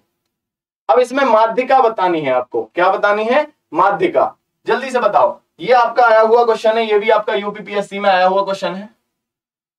जल्दी से बताओ, और सभी लोग अब तो बता देंगे इसका जवाब। माध्यिका वाला, इससे पहले भी एक क्वेश्चन आया था, सभी लोग बताइए। मैंने आपको रिज़ल्ट भी बताए थे। अगर ऑब्जर्वेशन इवन है तो क्या रिज़ल्ट बताया था? ऑब्जर्वेशन अगर आपके और है तो क्या बताया था? तो सबसे पहले अगर आपको कोई भी डाटा दे रखा है, उसकी अगर माध्यिका निकालनी है तो क्या करेंगे? सबसे पहले उसे आरोही क्रम, या तो असेंडिंग ऑर्डर में लिखेंगे, या डिसेंडिंग ऑर्डर में लिखेंगे। क्लियर है? हाँ बिल्कुल सानो, सारू सबको लेकर चलेंगे, बिल्कुल निश्चिंत रहें आप, सबको लेकर चलेंगे। देखिएगा देखिएगा, अगर आप देखिएगा, ये देखिएगा, अगर मैं आपको बात करूँ, सैंतीस, इकतीस, बयालीस, तैतालीस, छियालीस, पच्चीस, उनतालीस, तैतालीस, बत्तीस, ये दिखाई दे रहा है आपको। अब पहले तो इसे असेंडिंग ऑर्डर में लिखो, है ना? आरोही क्रम में लिखो। तो सबसे छोटा क्या दिखाई दे रहा है आपको? सबसे छोटा 25 पहले क्या आएगा? 25 बोलो हाँ है ना? उससे बड़ा क्या दिखाई दे रहा है आपको? 25 के बाद में क्या दिखाई दे रहा है? 31 बोलो क्लियर है? 31 के बाद में क्या दिखाई दे रहा है आपको? 32 बोलो क्लियर है? 32 के बाद में आपको क्या दिखाई दे रहा है? फिर सैंतीस। बोलो हाँ है ना? ये सैंतीस आ गया। सैंतीस के बाद में आपको क्या दिखाई दे रहा है? आप कहेंगे, सर, उनतालीस दिखाई दे रहा है, थर्टी दिखाई दे रहा है। उनतालीस के बाद में आपको क्या दिखाई दे रहा है? फिर ये बयालीस दिखाई दे रहा है फोर्टी टू दिखाई दे रहा है। उसके बाद में क्या दिखाई दे रहा है? तैतालीस दो बार दिखाई दे रहा है फोर्टी थ्री और फोर्टी थ्री बोलो हाँ एक बार आप रीचेक कर लिया करोगे, ऊपर जो काउंटिंग है, उतनी नीचे है या नहीं? एक, दो, तीन, चार, पाँच, छह, सात, आठ, नौ। नीचे एक, दो, तीन, चार, पाँच, छह, सात, आठ। देखो, तीन और तीन, छह और दो, आठ। कम हो गया क्या?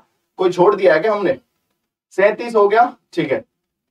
देखो, एक, दो, तीन, चार, पाँच, छह, सात, आठ, नौ। क्या छोड़ दिया? कुछ छोड़ दिया है क्या?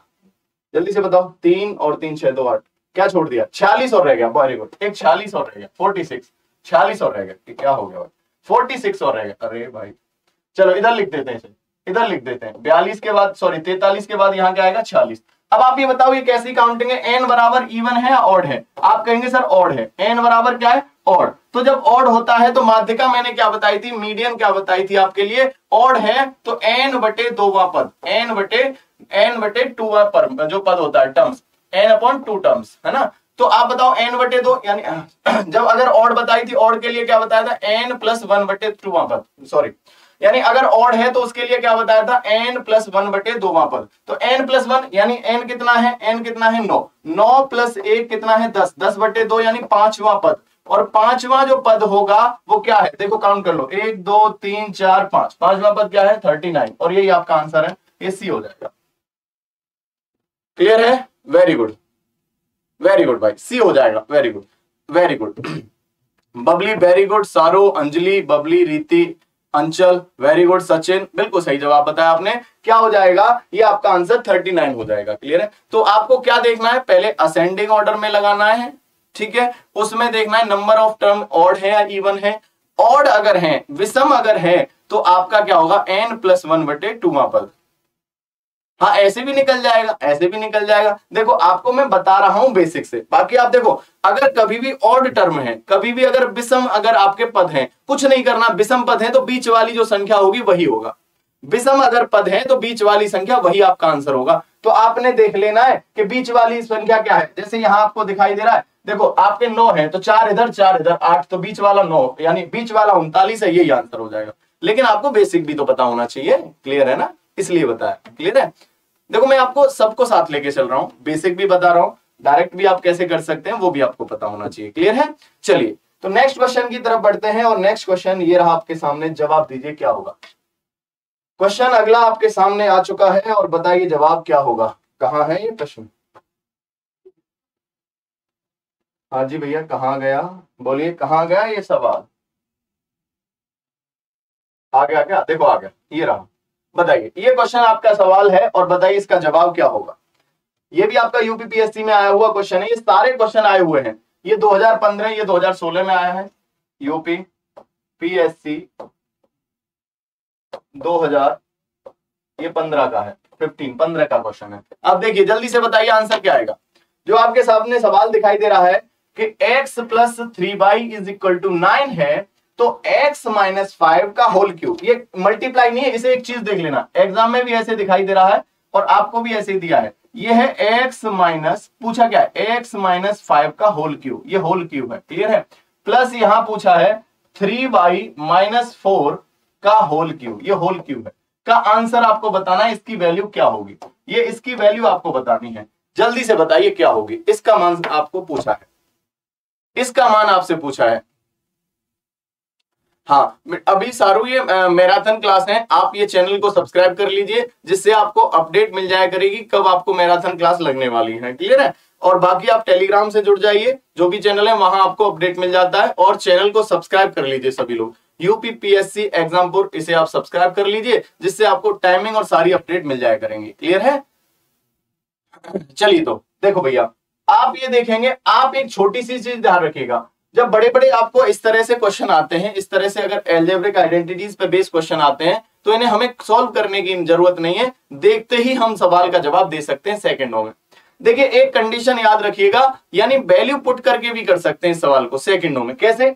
वैल्यू पुटिंग से कैसे कर सकते हैं? अगर एक समीकरण है आपके पास, एक इक्वेशन है और दो वेरिएबल है, दो आपके जैसे एक्स वाई हो गया ए बी हो गया, इस तरह से एक समीकरण है तो एक का मान आपको क्या करना है? मान लेना है अपनी तरफ़ से। अपनी तरफ़ से कुछ भी मान लो। और कुछ भी सबसे बेहतर है, ऐसा कुछ मानो कि आपका क्या है? आपका क्या है? जैसे आप ज़्यादा आसानी हो जाए। तो जैसे मैंने आप या तो x को, मैंने क्या कर दिया? यानी x को ज़ीरो मान लिया आसान करने के लिए। x बराबर क्या मान लिया? ज़ीरो। अगर एक समीकरण है और दो वेरिएबल आपको दिखाई दे रहे हैं, उसमें से एक की वैल्यू कुछ भी मान लो। तो x बराबर अगर मैंने ज़ीरो माना, जब x बराबर अगर ज़ीरो माना तो मुझे बताओ क्या हो जाएगा? थ्री वाई बराबर कितना हो जाएगा? नाइन और y बराबर कितना हो जाएगा? नौ बटे तीन, यानी तीन हो जाएगा। जब मेरी x की वैल्यू ज़ीरो है, तब y की वैल्यू क्या होगी? तीन होगी। बोलो हाँ है ना? तो यहाँ इस समीकरण में x बराबर ज़ीरो पुट कर दो और y बराबर तीन पुट कर दो। क्लियर है? तो जब x बराबर तीन पुट करेंगे x बराबर ज़ीरो करेंगे तो ज़ीरो में से पाँच गया, कितना बचा? जल्दी बताइए। ज़ीरो में से पाँच गया तो कितना बचा? आप कहेंगे, सर, ज़ीरो में से पाँच गया तो पाँच, और पाँच का क्यू कितना होगा? 125 माइनस का 125 बोलो हाँ है ना? प्लस, यहाँ थ्री वाई, तीन तिया नौ। नौ में से अगर चार घटाएँगे, पाँच। और पाँच का होल क्यू करेंगे, प्लस का 125 तो आप देखेंगे प्लस का और माइनस का कट गया और आंसर कितना आ जाएगा ज़ीरो तो आंसर आपका क्या हो रहा होगा ज़ीरो ऐसे सवालों को ऐसे सेकंडों में कर सकते हैं। क्लियर है? क्लियर है? खवेश आप सभी को भी बहुत सारा प्यार, इतना आप प्यार दे रहे हैं, उसके लिए बहुत बहुत धन्यवाद। क्लियर है? चलिए।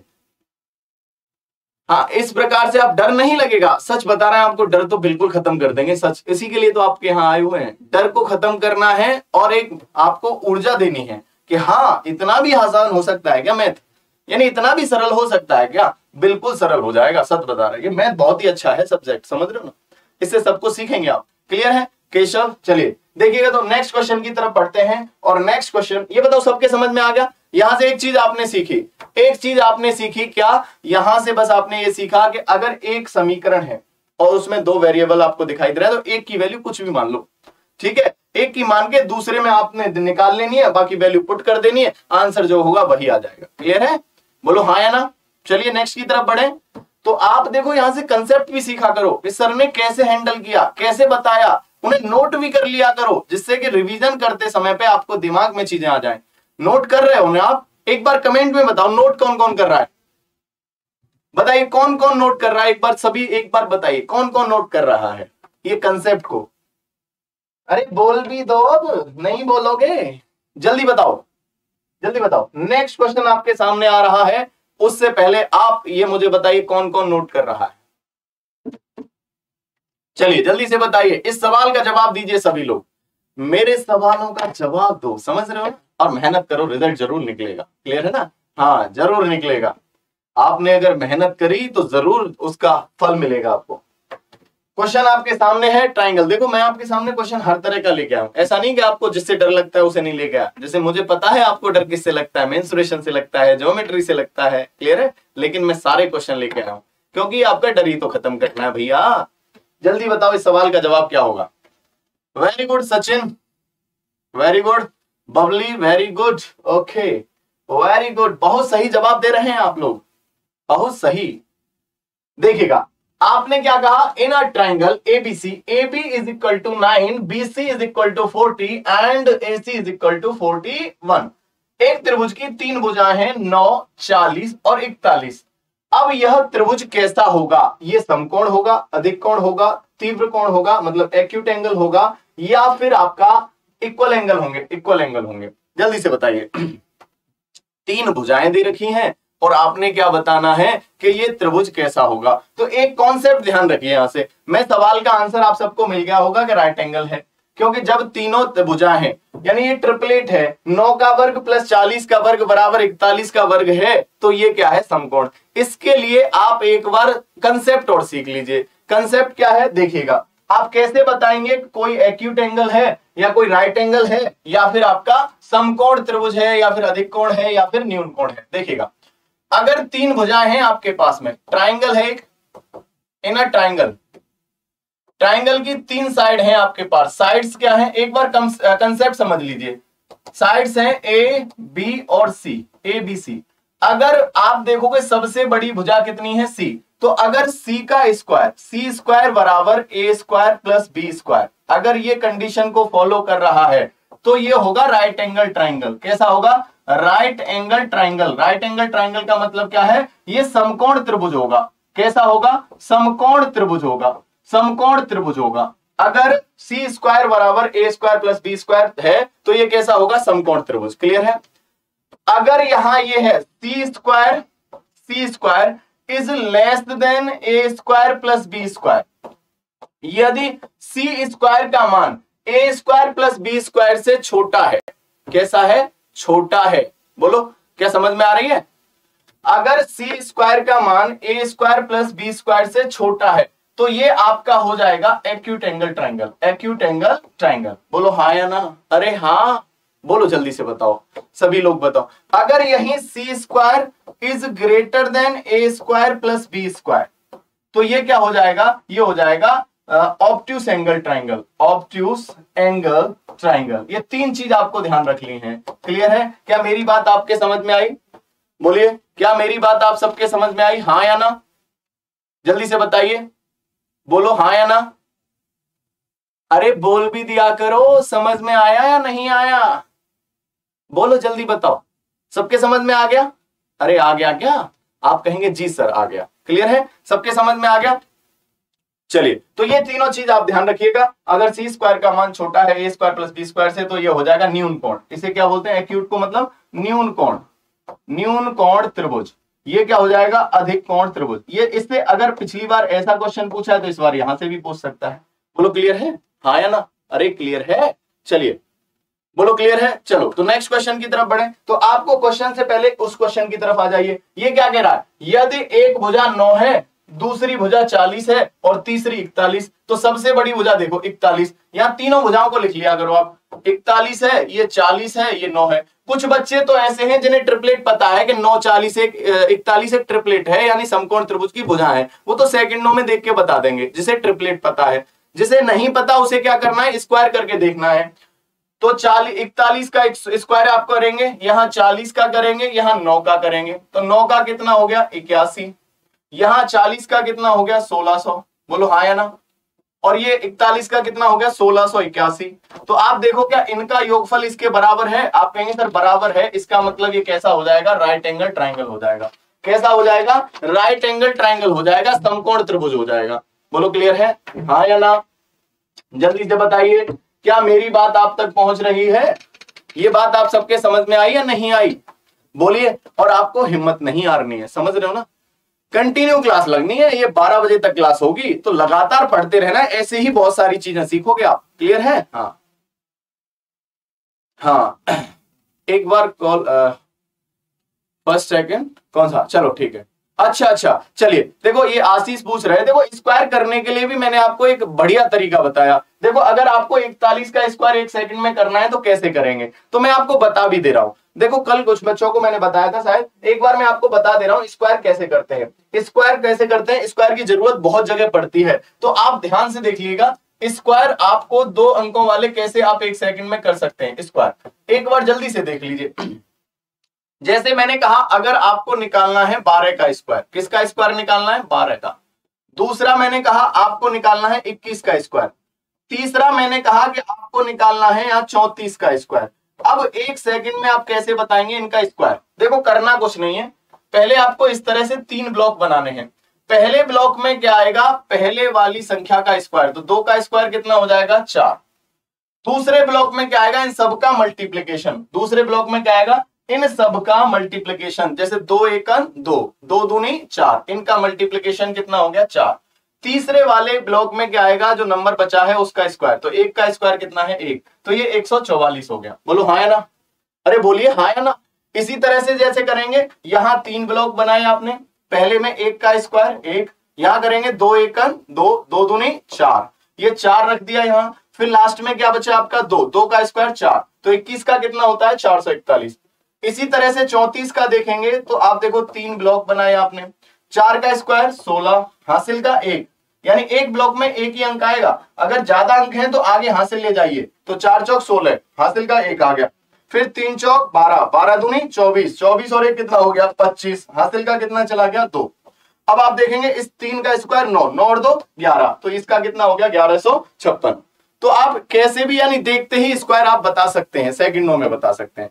क्लियर है ना? हाँ या ना? किसी दिन मैं आपको जब क्लास लूँगा तो बड़े बड़े स्क्वायर भी बताऊँगा एक सेकंड में कैसे कर सकते हैं। जैसे मैंने आपसे एक सेकंड में पूछा कि मुझे बताओ छह का स्क्वायर क्या होगा। एक सेकंड में बताइए। अब आप कहेंगे, सर, बड़ा समय लगेगा। नहीं लगना। आपका आंसर क्या आएगा? छत्तीस। ये पाँच पाँच। यहाँ आएगा चार चार। यही आंसर हो जाएगा। आप कहेंगे, सर, इतनी जल्दी कैसे आ गया? क्लियर है? इतनी जल्दी कैसे आ गया? जैसे मैंने आपसे पूछ लिया कि मुझे बताओ 333 का स्क्वायर बताओ 333 का स्क्वायर बताओ तो एक सेकंड में कैसे करेंगे? तीन का स्क्वायर नौ, इसे ज़ीरो नौ लिख दो। यहाँ एक कम लिखेंगे तो आठ आठ, यहाँ एक ज़्यादा लिखेंगे, एक एक, ये आंसर आएगा। क्लियर है? अरे हाँ या ना? तो ये सारे जो आपको मैं रिज़ल्ट बताऊँगा एक दिन स्क्वायर की क्यूब को, ये सारी चीज़ें बताऊँगा, किसी दिन, है ना? क्लियर है? अभी यहाँ बता सकता हूँ, मैं देखो यहाँ क्या करते हैं। जैसे आपने क्या देखना है, छह छह छह, कितने बार हैं? तीन बार तो एक, छह को उठा के उसका स्क्वायर करना है। क्या लिख दिया हमें छह का स्क्वायर छत्तीस। क्लियर है? अब आप बताइए कितने डिजिट बचे हुए एक यहाँ बचा, एक यहाँ। कितने बचे हैं? दो। तो दो इससे पहले आएँगे और दो इससे पहले आएँगे। क्लियर है? तो यहाँ दो डिजिट आएँगे, दो ही डिजिट यहाँ आएँगे। यहाँ क्या आएगा? यहाँ इससे एक कम आएगा। और यहाँ क्या आएगा? यहाँ इससे एक ज़्यादा आएगा। क्लियर है जैसे मैंने आपसे कहा कि छियासठ का स्क्वायर बताइए तो आप कहेंगे, सर, छह का स्क्वायर कितना हो गया? छत्तीस। छह का स्क्वायर कितना हो गया? छत्तीस।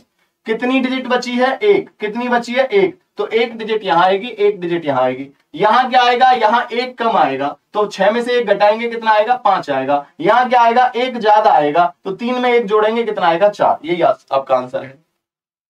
यही आपका आंसर है। क्लियर है? इसी तरह से आप तीन वाले का कर सकते हो। इसी तरह से आप तीन वाले का कर सकते हो। जैसे मैंने कहा कि यहाँ आपको देखना तीन तीन तीन है। तो एक, तीन का स्क्वायर क्या है? नौ। नौ को लिख दीजिए, ज़ीरो, नौ। बोलो हाँ है ना?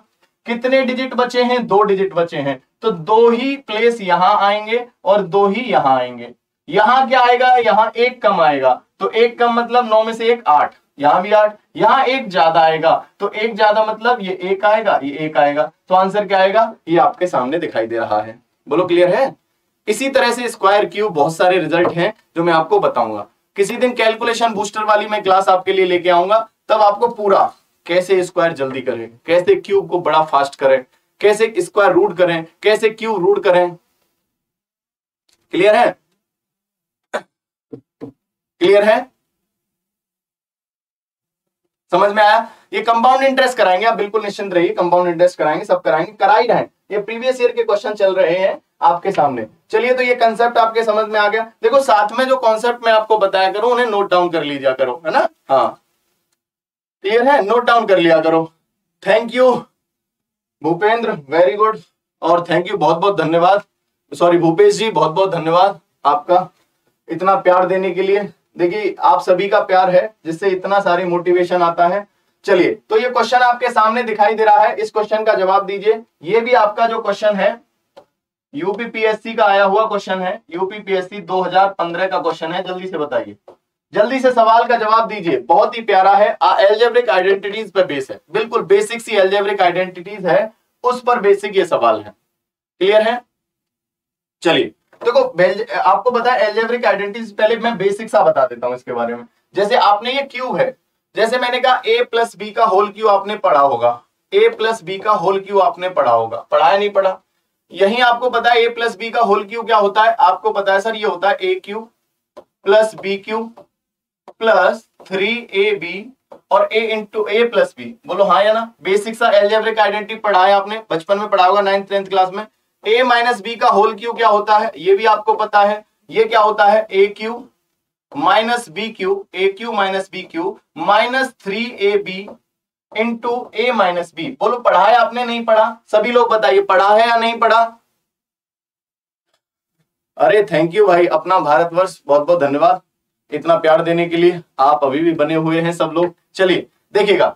देखो, आपको पता है, ये एल्जेब्रिक बेसिक आइडेंटिटीज आपने पढ़ी होंगी। अब इसने क्या कहा है? ये x प्लस वाई का whole cube x minus y का होल क्यू क्लियर है? वैसे तो एल्जेब्रिक आइडेंटिटी इसका रिज़ल्ट होता है। लेकिन मैं आपको डिटेल में बता दे रहा हूँ। तो a प्लस बी का whole cube plus a minus b का होल क्यू इन दोनों को जब ऐड करेंगे, आप बताओ ऐड करेंगे ए बी की जगह एक्स वाई है क्लियर है? जब ऐड करेंगे, देखो ये कट जाएगा, बोलो हाँ या ना?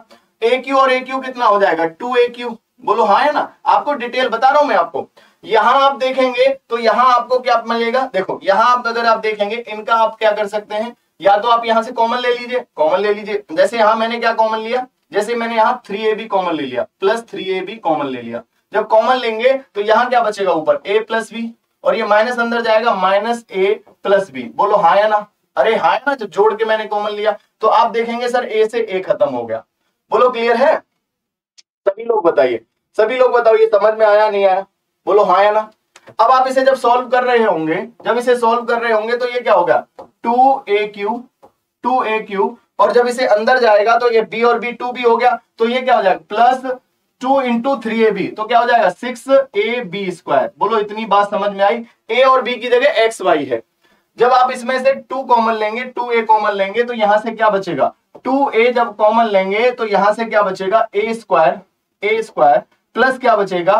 Three B square three B square क्या मेरी बात समझ में आ रही है? अब ए की जगह क्या रखना है आपको? एक्स रखना है और बी की जगह क्या रखना है? बाई तो आप देखेंगे ये क्या हो जाएगा? टू एक्स और ये हो जाएगा X square plus three Y square तो ये आपकी एक इसका रिज़ल्ट भी होता है। अगर आपको डिटेल नहीं करनी है तो डायरेक्ट रिज़ल्ट भी होता है। और ये रिज़ल्ट कौन सा दिखाई दे रहा है आपको? ये आपका दिखाई दे रहा है। Two X into X square plus three Y square क्या मेरी बात समझ में आ रही है? सचिन वेरी गुड तो देखो, आपको ये पूरी रामायण करने की ज़रूरत नहीं है। अगर जब आप एडवांस में अच्छे से पढ़ोगे तो आपको इनको एल्जेब्रिक आइडेंटिटीज के रिज़ल्ट याद रखने जैसे ए प्लस बी का whole cube plus A minus B का होल क्यू अगर आपको देखना है तो क्या हो जाएगा? ये हो जाएगा two A into A square plus three B square clear है? क्या मेरी बात समझ में आई? लेकिन आप ऐसे मैंने आपको एक बार डिटेल बता दिया है। देख लीजिए। अगर आप स्क्रीनशॉट लेना चाहते हैं तो ले सकते हैं। क्या मेरी बातें आपको समझ में आ रही हैं? सभी लोग बताइए। वेरी गुड आशीष, अपना भारतवर्ष नरेंद्र शारू अंजलि, बबली, ओके, रीति एक बात बताओ, चीज़ें आप तक पहुँच रही हैं नहीं पहुँच रही? मैं जो आपको समझा रहा हूँ, ये आप तक पहुँच रहा है या रास्ते में ही कहीं अटक रहा है? बताइए एक बार, सबके दिल में जगह बन रही है क्वेश्चंस के लिए? बोलो हाँ है ना? तो देखो, ये रही आपके सामने जवाब, आपके आने वाले हैं, उससे पहले क्वेश्चन बताइए। सभी लोग बताइए, समझ में आ तो रहा है ना? चीज़ें पहुँच तो रही है ना? वेरी गुड थैंक यू सभी को तहे दिल से बहुत बहुत धन्यवाद। आप इतना सारा प्यार दे रहे हैं। क्लियर है? सब पहुँच रहा है, सब कुछ जा रहा है। गोपाल, गोरखपुर, ये ना मैंने रिज़ल्ट ही बताया था। ट्रिक क्या होती है? ट्रिक का मतलब समझ रहे हो ना? ट्रिक मतलब होता है छल करना। क्या मैं आपके साथ छल कर सकता हूँ? नहीं। ट्रिक नहीं। मैं उस ट्रिक का शब्द बना के लेके आया हूँ। मुझे ट्रिक नहीं। ट्रिक अच्छा नहीं लगता। मुझे लगता है रिज़ल्ट यानी उस चीज़ को या ट्रिक बोल दो या मैं रिज़ल्ट बना के बोलता हूँ। यानी उसका किसी बड़ी चीज़ का छोटे रूप में दे देना, उसका रिज़ल्ट है। क्लियर है? रिज़ल्ट है। थैंक यू भाई थैंक यू चलिए तो देखो भाई साहब, ये क्वेश्चन आपके सामने है, बताइए इसका जवाब। 110 मीटर लंबी एक रेलगाड़ी 36 किलोमीटर प्रति घंटे की गति से चल रही है। 132 मीटर लंबे पुल को पार करने में ट्रेन द्वारा लिया गया समय, बताइए। देखो, आप एक बात बताइए। भाई साहब, ये मेरी ट्रेन है। ट्रेन दिखाई दे रही है, ये आपको ट्रेन दिखाई दे रही है। अब ये भाई साहब प्लेटफॉर्म है, ये आपकी ट्रेन है और ये ये व्हाइट वाला प्लेटफॉर्म है। जब इस प्लेटफॉर्म को पार करेगी, देखो कितनी डिस्टेंस कवर करेगी। आप कहेंगे, सर, ट्रेन आई। आई ना? सीटी आ रही है ना ट्रेन की? ट्रेन आई आई आई और ये गई, निकल गई। निकल गई, जब निकलेगी तो कितनी डिस्टेंस कवर करेगी? आप कहेंगे, सर, जब ट्रेन किसी या तो स्टेशन को पार करे या फिर किसी ट्रेन को पार करे तो वो कितनी लंबाई या कितनी दूरी तय करती है? दोनों की कुल दूरी के बराबर दूरी तय करती है। बोलो हाँ या ना? और ये लाइक कर दिया करो, समझ रहे हो ना? हाँ। अगर आप पसंद करते हो लाइक भी कर दिया करो। क्लियर है? इसमें भी तकलीफ़ हो रही है। तो आपको पता है, जब ट्रेन किसी अगर प्लेटफॉर्म को पार करती है तो कितनी डिस्टेंस कवर करती है? ट्रेन की लंबाई प्लस प्लेटफॉर्म की लंबाई। इतनी ही डिस्टेंस कवर करती है? बोलो हाँ या ना? अब हमें पता है, आपको पता है, स्पीड क्या है इसकी? 36 किलोमीटर प्रति घंटा। इसकी स्पीड क्या है? 36 kilometre per hour. 36 kilometre per hour.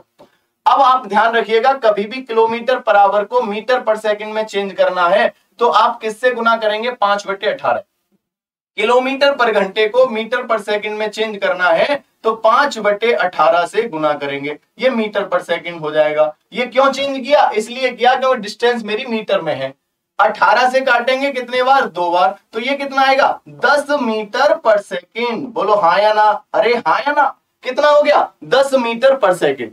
चाल कितनी है? दस मीटर पर सेकंड। और टोटल दूरी कितनी है? दूरी कितनी हो जाएगी? 110 प्लस कितनी हो जाएगी? 132 और टोटल डिस्टेंस कितनी हो जाएगी? आप देखेंगे सर 200 कितना हो जाएगी? 42 बोलो हाँ या ना? अब हमें पता है कि समय बराबर क्या होता है? समय बराबर होता है दूरी बटे चाल। समय बराबर क्या होता है? दूरी बटे चाल।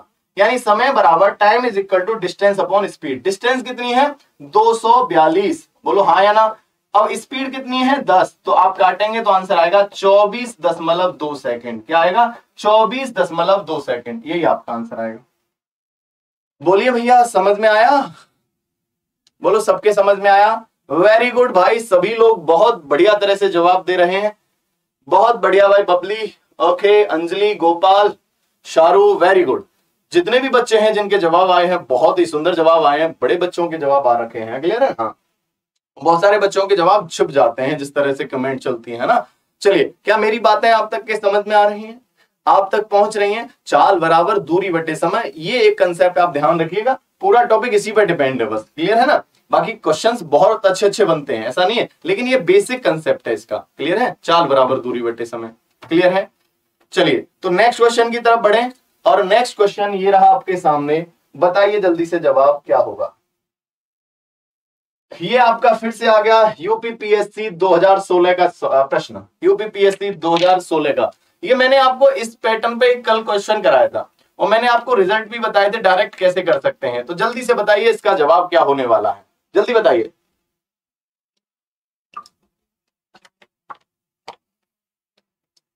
जल्दी से बताइए सवाल का जवाब क्या होगा। देखिएगा, सवाल क्या कह रहा है? तीन बटे आठ तीन बटे पाँच, दो बटे तीन, एक बटे दो। अब इन्हें किसमें लगाना है? आरोही क्रम। आरोही मतलब आरोही मतलब बढ़ता हुआ। क्लियर है? और अवरोही मतलब घटता हुआ। असेंडिंग मतलब बढ़ता हुआ डिसेंडिंग मतलब घटता हुआ। तो देखिएगा। आप ध्यान रखिएगा, या तो अगर जब कभी, देखिए, दो कंडीशन होती है फ्रैक्शन के पास में। फ्रैक्शन के साथ में क्या होती है? पहली कंडीशन तो ये होती है अगर सभी के डिनोमिनेटर सेम है, डिनोमिनेटर अगर सेम है, डिनोमिनेटर मतलब हर। अगर हर सेम है, अगर हर सेम है, डिनोमिनेटर को हिंदी में क्या बोलते हैं? हर। अगर हर सेम है तो जिसका अंश बड़ा, अगर जिसका अंश बड़ा, वो भिन्न क्या होगी? बड़ी। जिसका अंश अगर बड़ा होगा, वो फ्रैक्शन क्या हो जाएगी? वो फ्रैक्शन जो है, बड़ी हो जाएगी। दूसरी कंडीशन क्या होती है? दूसरी कंडीशन क्या होती है? दूसरी कंडीशन ये होती है, अगर आपके न्यूमरेटर न्यूमरेटर मतलब अंश, एक बार देख लीजिए न्यूमरेटर मतलब अंश। अगर अंश सेम है, अंश सेम है सेम मतलब बराबर है। अगर भिन्न के अंश बराबर हैं तो जिसका डिनोमिनेटर बड़ा, जिसका डिनोमिनेटर मतलब हर बड़ा, वो फ्रैक्शन छोटी होगी, इसमें उल्टा होता है। वो वो फ्रैक्शन क्या हो जाएगी? छोटी। अगर आपके अंश बराबर हैं तो जिसका हर सबसे बड़ा, वो भिन्न सबसे छोटी। ये आप ध्यान रखिएगा। बोलो हाँ या ना? ये बात आपको पता है या नहीं पता? बोलो हाँ या ना?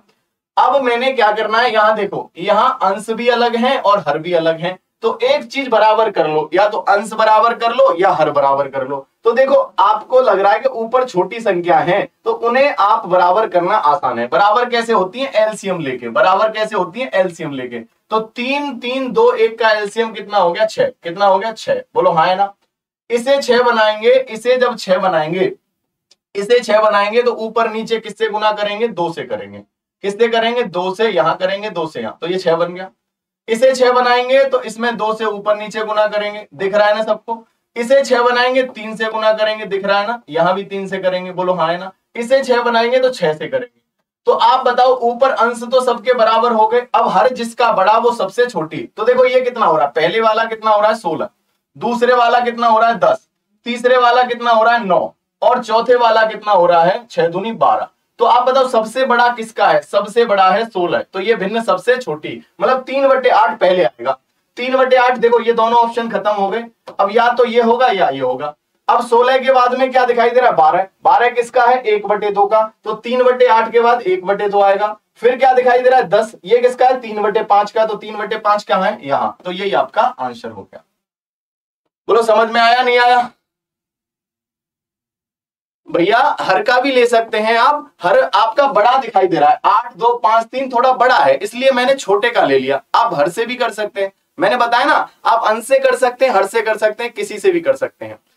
तो सभी का जवाब जिनका आ रहा है, ए, वो बिल्कुल सही है। क्योंकि जिसका हर बड़ा, वो भिन्न सबसे छोटी, और जिसका हर छोटा, वो भिन्न सबसे बड़ी। तो देखो, सोलह सबसे बड़ा है तो ये सबसे छोटी हो जाएगी, और आपका नौ सबसे छोटा है तो ये सबसे बड़ी हो जाएगी। तो आंसर आएगा ये, तीन बटे आठ, फिर उससे बड़ा एक बटे दो, उससे बड़ा तीन बटे पाँच, उससे बड़ा दो बटे तीन। क्लियर है? क्या मेरी बात आपके समझ में आ रही है? बोलो हाँ या ना? अब अगर एक कंडीशन ऐसी हो जाए कि जब कभी, कि जब कभी क्या है, अंश और हर का इनका एल्सियम निकालना बहुत टिपिकल हो जाए मतलब बड़ी बड़ी संख्या हो जाए, तब कैसे करेंगे? अगर इनका देखो, तब कैसे करेंगे? एक और कंडीशन बन जाती है इसमें। ये ध्यान रखो, ये सवाल काफ़ी बार पूछे जा रहे हैं, इसलिए मैं आपको एक कंसेप्ट बता दे रहा हूँ, ध्यान रखिएगा। जैसे अगर क्वेश्चन ये वाला क्वेश्चन अगर ये है, यहाँ दिखाई दे रहा है, ये सत्ताईस बटे उन्तीस है, ये सत्ताईस बटे उन्तीस है, एक यहाँ आपको दिखाई दे रहा है तैतालीस तैतालीस बटे आपको दिखाई दे रहा है ये छियालीस, तैतालीस बटे छियालीस। यहाँ एक दिखाई दे रहा है आपको, ये दिखाई दे रहा है एक सौ एक सौ नौ, एक सौ नौ बटे एक सौ चौदह, एक सौ नौ बटे एक सौ चौदह या एक सौ पंद्रह, ये दिखाई दे रहा है। अब आपको बताना है कि इसमें सबसे बड़ी कौन सी है और सबसे छोटी कौन सी है? इसमें बिल्कुल, कुछ भी ले सकते हैं। इसमें बताइए, सबसे बड़ी फ्रैक्शन कौन सी है या सबसे छोटी कौन सी है? या फिर असेंडिंग ऑर्डर में भी लगवा सकता है डिसेंडिंग अब आप देखेंगे, सर, ये सत्ताईस है, ये तैतालीस है, ये एक सौ नौ है। इनका एलसीएम फिर इनका गुणा करेंगे, बहुत टिपिकल हो जाएगा। यहाँ देखें, उनतीस, छियालीस, एक सौ पंद्रह इनका एलसीएम लेंगे, बड़ा टिपिकल हो जाएगा। अगर इस स्तर के सवाल आ जाए, ये भी एग्ज़ाम में पूछ सकता है।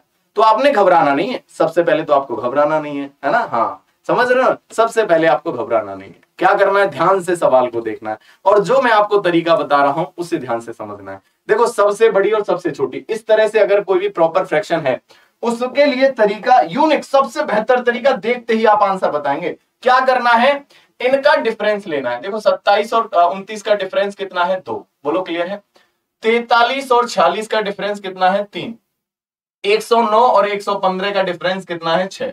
जो डिफरेंस आया है इससे आपको अंश में भाग देना है। तो दो से और अप्रोक्सीमेट वैल्यू लिखनी है। अगर जब दो से सत्ताईस में भाग दोगे तो आप देखेंगे कि ये आएगा तेरह दशमलव पाँच। लेकिन हमें अप्रोक्सीमेट लिखना है। तेरह दशमलव कुछ आएगा। तेरह दशमलव पाँच आएगा। क्लियर है?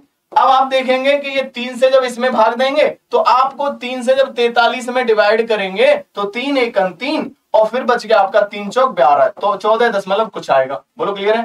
जब छह से एक सौ नौ में भाग देंगे तो छह एकन छह, चार हो गया, आठ छिंग अड़तालीस, अठारह दशमलव कुछ आएगा। बोलो हाँ या ना? तो आप मुझे बताइए, सबसे बड़ा क्या दिखाई दे रहा है? सबसे बड़ा है अठारह। तो जिसका आंसर जिस तरह से डिवाइड करके जो बड़ा है, वही बड़ा होगा। तो ये क्या हो जाएगी? लार्जेस्ट ये क्या हो जाएगी? लार्जेस्ट फ्रैक्शन हो जाएगी। बोलो हाँ या ना? और जो आंसर आपको सबसे छोटा दिखाई दे रहा है, वही अब से सबसे छोटी हो जाएगी। तो सबसे छोटी क्या हो जाएगी? सबसे छोटी क्या हो जाएगी? सत्ताईस बटे उनतीस। ये स्मॉलेस्ट हो जाएगी। बोलो हाँ या ना? क्या मेरी ये बात आपके समझ में आई? बताइए। ये कंसेप्ट आपके समझ में आया? नहीं आया? हाँ जी, देखो, अब आके कह रहे हैं गुड आफ्टरनून है, खुशी बबली जो भी है शाहरुख, भैया समय से आया करो। आप देखा करो, क्लास कितने बजे स्टार्ट हो जाती है। क्लियर है ना? समय से आओगे, ज़्यादा पाओगे। क्लियर है? जल्दी आओगे, जल्दी पाओगे। बताइए, तरीका सबके समझ में आया, नहीं आया? बताइए, ये तरीका सबके समझ में आया? यानी कितना भी अगर टिपिकल क्वेश्चन बना दे एग्जामिनर तब भी हम तैयार रहेंगे, क्योंकि हमने तरीके पढ़े हैं बढ़िया। क्लियर है ना? अच्छे तरीके पढ़े हैं। समझ रहे हो ना?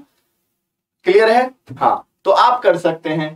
क्लियर है? अगर मैंने कहा इसमें क्या है? इसमें आपने देखा कि आपने अगर जब अंश और हर आपको एलसीएम लेने में तकलीफ़ हो रही हो, दर्द हो रहा हो, घबराहट हो रही हो तो उस समय के लिए अगर डिफरेंस मेथड से आप कर सकते हैं और आप आंसर अपना बता सकते हैं। क्लियर है? तो आंसर सबसे बड़ा क्या आएगा? 109 बटे 115 और सबसे छोटा क्या आएगा? 27 बटे 29 क्लियर है? बोलो क्लियर है? एक क्वेश्चन दू क्या? आप बताइए। सभी बताइए, एक क्वेश्चन दो, आप जवाब बताएँगे क्या? जल्दी बताओ। अरे, बोलिए। दें क्या एक क्वेश्चन चलिए। देखिए, देखो देखो, एक क्वेश्चन मैं आपको दे रहा हूँ, जिससे आप जल्दी से जवाब बताएँ कि कौन सा बड़ा है, इसमें कौन सा छोटा है। देखो क्वेश्चन आपके सामने क्या कह रहा है? तैतालीस बटे ये आपको दिखाई दे रहा है फोर्टी सेवन बोलो हाँ या ना? ये दूसरा दिखाई दे रहा है twenty seven upon sorry twenty three upon twenty one ये लास्ट में दिखाई दे रहा है आपको। क्या दिखाई दे रहा है? कुछ दिखाई दे रहा है। 211 बटे 200 कितना लिख दें? तुम कहोगे कुछ भी लिख दो सर आपके हाथ में पेन है, कुछ भी लिख दो चलो तो बताओ। जल्दी से बताओ इसमें लार्जेस्ट फ्रैक्शन बताइए। लार्जेस्ट फ्रैक्शन बताओ।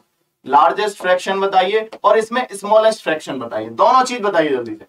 जल्दी से जवाब दो। बताइए जल्दी लार्जेस्ट फ्रैक्शन क्या होगा और स्मॉलेस्ट फ्रैक्शन क्या होगा? जल्दी बताओ। सबसे बड़ी भिन्न क्या होगी और सबसे छोटी क्या होगी? जल्दी बताइए। उड़ा दीजिए इस सवाल को, है? बिल्कुल, इसे हवा में उड़ा दीजिए। समझ रहे हो ना? फूक मारो, उड़ा दो। जल्दी बताओ। अब तो कर लेंगे ना? देखो भाई सारू वेरी गुड और बताइए और बताइए, जल्दी से बताइए। सारू का जवाब आया अभी। Anjali very good okay, Sangu very good Sachin, सभी लोग बताओ। देखो, बहुत बढ़िया जवाब दे रहे हैं आप। देखिए, आपके जवाब गलत, सही, वो एक अलग चीज़ है। आपने जवाब दिया, ये सबसे बड़ी बात है। आपका आंसर गलत है, वो सही है, वो एक अलग बात है। लेकिन आपने जवाब दिया, ये सबसे बड़ी बात है। देखिए तो करेंगे क्या? आपको पता है, इनका लेंगे भैया डिफरेंस यहाँ डिफरेंस कितना है? चार। यहाँ डिफरेंस कितना है? देखिएगा वेरी गुड वेरी गुड ये आपको चक्कर में डाल देगा। यहाँ डिफरेंस कितना है? आप देखिएगा, ये आपको डिफरेंस ये देखते ही आपको पता चलेगा, ये अपवाद वाली कंडीशन आ गई। यहाँ डिफरेंस कितना है? देखिए, यहाँ डिफरेंस कितना है? यहाँ डिफरेंस ये कितना था भाई? 211 211 बटे 216 यहाँ डिफरेंस कितना है? यहाँ डिफरेंस कितना है? यहाँ डिफरेंस है आपका ये पाँच। लेकिन एक छोटी सी चीज़ बताओ, ये प्रॉपर फ्रैक्शन है, ये प्रॉपर है, ये इम्प्रॉपर फ्रैक्शन है। ये आपको पता है, तेईस जो है, इक्कीस से बड़ा है। ये तो इक्कीस से तेईस जब बड़ा है तो इसका मान तो एक से बड़ा हो जाएगा। कॉमन सेंस लगाना, इसमें आपको थोड़ा फंसाया गया इस सवाल में। क्यों? जो बच्चे अगर देख रहे हैं वेरी गुड उन्हें फंसाया गया है। देखो इसमें क्या है? अंश से बड़ा हर है। इसमें भी अंश से बड़ा हर है। लेकिन यहाँ अंश बड़ा है। जब कोई चीज़ बड़ी है 21 से 23 बड़ी है, इसका मतलब इसका ये 21 से तो बड़ा है मतलब एक से ज़्यादा है ये। क्लियर है ना? और ये सब एक से कम है। तो सबसे बड़ी तो यही आ जाएगी। ये तो उस कैटेगरी से तो दोनों हट गए। ये लार्जेस्ट तो यही आ जाएगी। इन सब में देखते ही बता दोगे, एक सेकंड में सबसे बड़ी है। इसमें डिफरेंस करने की ज़रूरत ही नहीं है भैया। क्यों करने की ज़रूरत नहीं है? क्योंकि ये प्रॉपर फ्रैक्शन दोनों है, ये तो इम्प्रॉपर है। देखो, यहाँ जो अंश है, तेईस है और हर इक्कीस है। यहाँ इनमें अंश बड़ा है, हर छोटा है। यहाँ आप देखोगे, अंश छोटा हर बड़ा, अंश छोटा हर बड़ा। ये कंडीशन वहाँ प्रॉपर फ्रैक्शन पे लगती है, जो मैंने आपको बताई है। क्लियर है? तो आप सबसे बड़ी तो देख के ये बता दोगे। अब बात आती है सबसे छोटी की। सबसे छोटी के लिए वो आपको तरीका बताया। चार से डिवाइड देंगे, क्या करेंगे? सबसे बड़ी क्या हो जाएगी? तेईस बट्टे इक्कीस। सबसे बड़ी क्या हो जाएगी? तेईस बटे इक्कीस। चार से डिवाइड करेंगे तो ये दस दशमलव कुछ आएगा। बोलो हाँ है ना? यहाँ आप पाँच से डिवाइड करेंगे तो पाँच सौ बीस, और फिर बच गया तो आपका ग्यारह हो गया। पाँच दूनी दस, यानी बयालीस दशमलव कुछ आएगा। तो आप बताइए, सबसे छोटी क्या हो जाएगी? तैतालीस बटे सैतालीस। सबसे छोटी क्या हो जाएगी? तैतालीस बटे सैतालीस। बोलो क्लियर है? अरे हाँ या ना? तो आप ये अपना माइंड भी लगा लिया करो कि ये प्रॉपर है या इम्प्रॉपर है। ये अंश जो है हर से बड़ा है या छोटा है। क्लियर है? प्रॉपर फ्रैक्शन कौन सी होती है?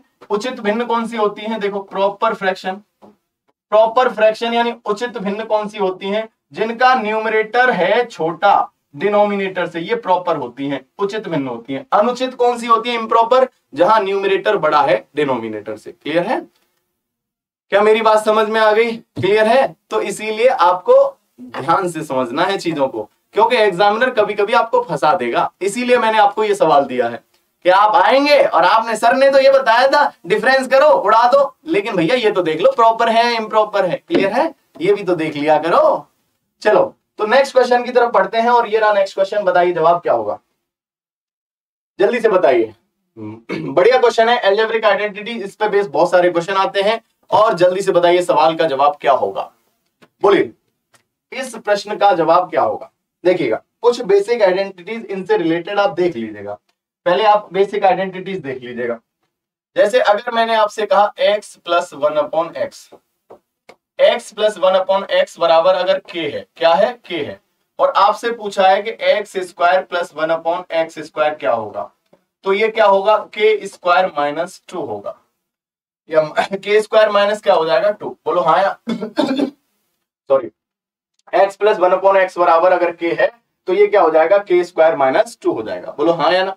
ऐसे ही अगर आपको दिखाई दे रहा है X minus one upon X बराबर अगर के है, क्या है? के और आपको पूछा है कि X square plus one upon X square बराबर क्या होगा? तो यहाँ जो हो जाएगा, ये आप देख रहे हो क्या है? हमने पूछा ये तो यहाँ हो जाएगा के स्क्वायर प्लस टू क्या हो जाएगा? के स्क्वायर प्लस टू ये दोनों रिज़ल्ट याद रखिएगा। एल्जेब्रिक आइडेंटिटीज होती हैं, जबकि x plus one upon X का मान दे दिया X cube plus one upon X cube पूछता है, ये आपने पढ़ा होगा। तो यहाँ आप देख रहे होंगे कि यहाँ क्या दिखाई दे रहा है? यहाँ क्या दिखाई दे रहा है? X minus one upon X यानी आप देखो, ये x की वैल्यू तो a की वैल्यू तो है, ये a और ये भी a है। तो आप देखो, a minus one upon A बराबर अगर सिक्स है तो ये क्या हो गया? A square plus one upon A square तो आप निकालेंगे तो क्या है? ये आपको सिक्स की जगह क्या था? के तो आप देखेंगे four X square plus one upon four X square बराबर क्या होगा? के का स्क्वायर आपको बताया ना, छह का स्क्वायर कितना है? छत्तीस प्लस दो। और आंसर कितना हो जाएगा? एक सेकंड में थर्टी एट आंसर आएगा। कितना आंसर आएगा? थर्टी एट बोलो हाँ या ना? क्लियर है? तो आपको ये, आपको एल्जेब्रिक आइडेंटिटीज पता होना चाहिए। क्लियर है? हाँ। बाकी मैं आपको क्लास लेके आऊँगा, तब और अच्छे से बताएँगे सारी चीज़ें। ये आया हुआ क्वेश्चन है। यूपी पीएससी 2016 में आया हुआ क्वेश्चन है। क्लियर है? अगर ए प्लस आपको बताया था A plus one upon A बराबर अगर k है तो A square plus one upon A square बराबर क्या होगा? आप कहेंगे, सर के स्क्वायर माइनस टू और अगर a minus one upon A बराबर अगर k है, और पूछा A square plus one upon A square तो क्या हो जाएगा? वो हो जाएगा के स्क्वायर प्लस टू क्लियर है? क्या मेरी बात समझ में आई आप सभी के? बोलो क्लियर है? और ये लाइक किया करो सेशन को ज़्यादा से ज़्यादा शेयर किया करो, समझ रहे हो ना? ज़्यादा से ज़्यादा लाइक करेंगे, ज़्यादा से ज़्यादा शेयर करेंगे, बढ़िया लगेगा हमें भी. क्लियर है? ये चीज़ें सब तक पहुंचनी चाहिए। चलिए नेक्स्ट क्वेश्चन ये रहा आपके सामने। क्वेश्चन आपके सामने है, जल्दी से बताइए जवाब क्या होगा? पीएससी 2016 का आया हुआ क्वेश्चन है। वेरी गुड भाई, सभी लोग जवाब दीजिए। दो संख्याओं का अनुपात पाँच, अनुपात छह है।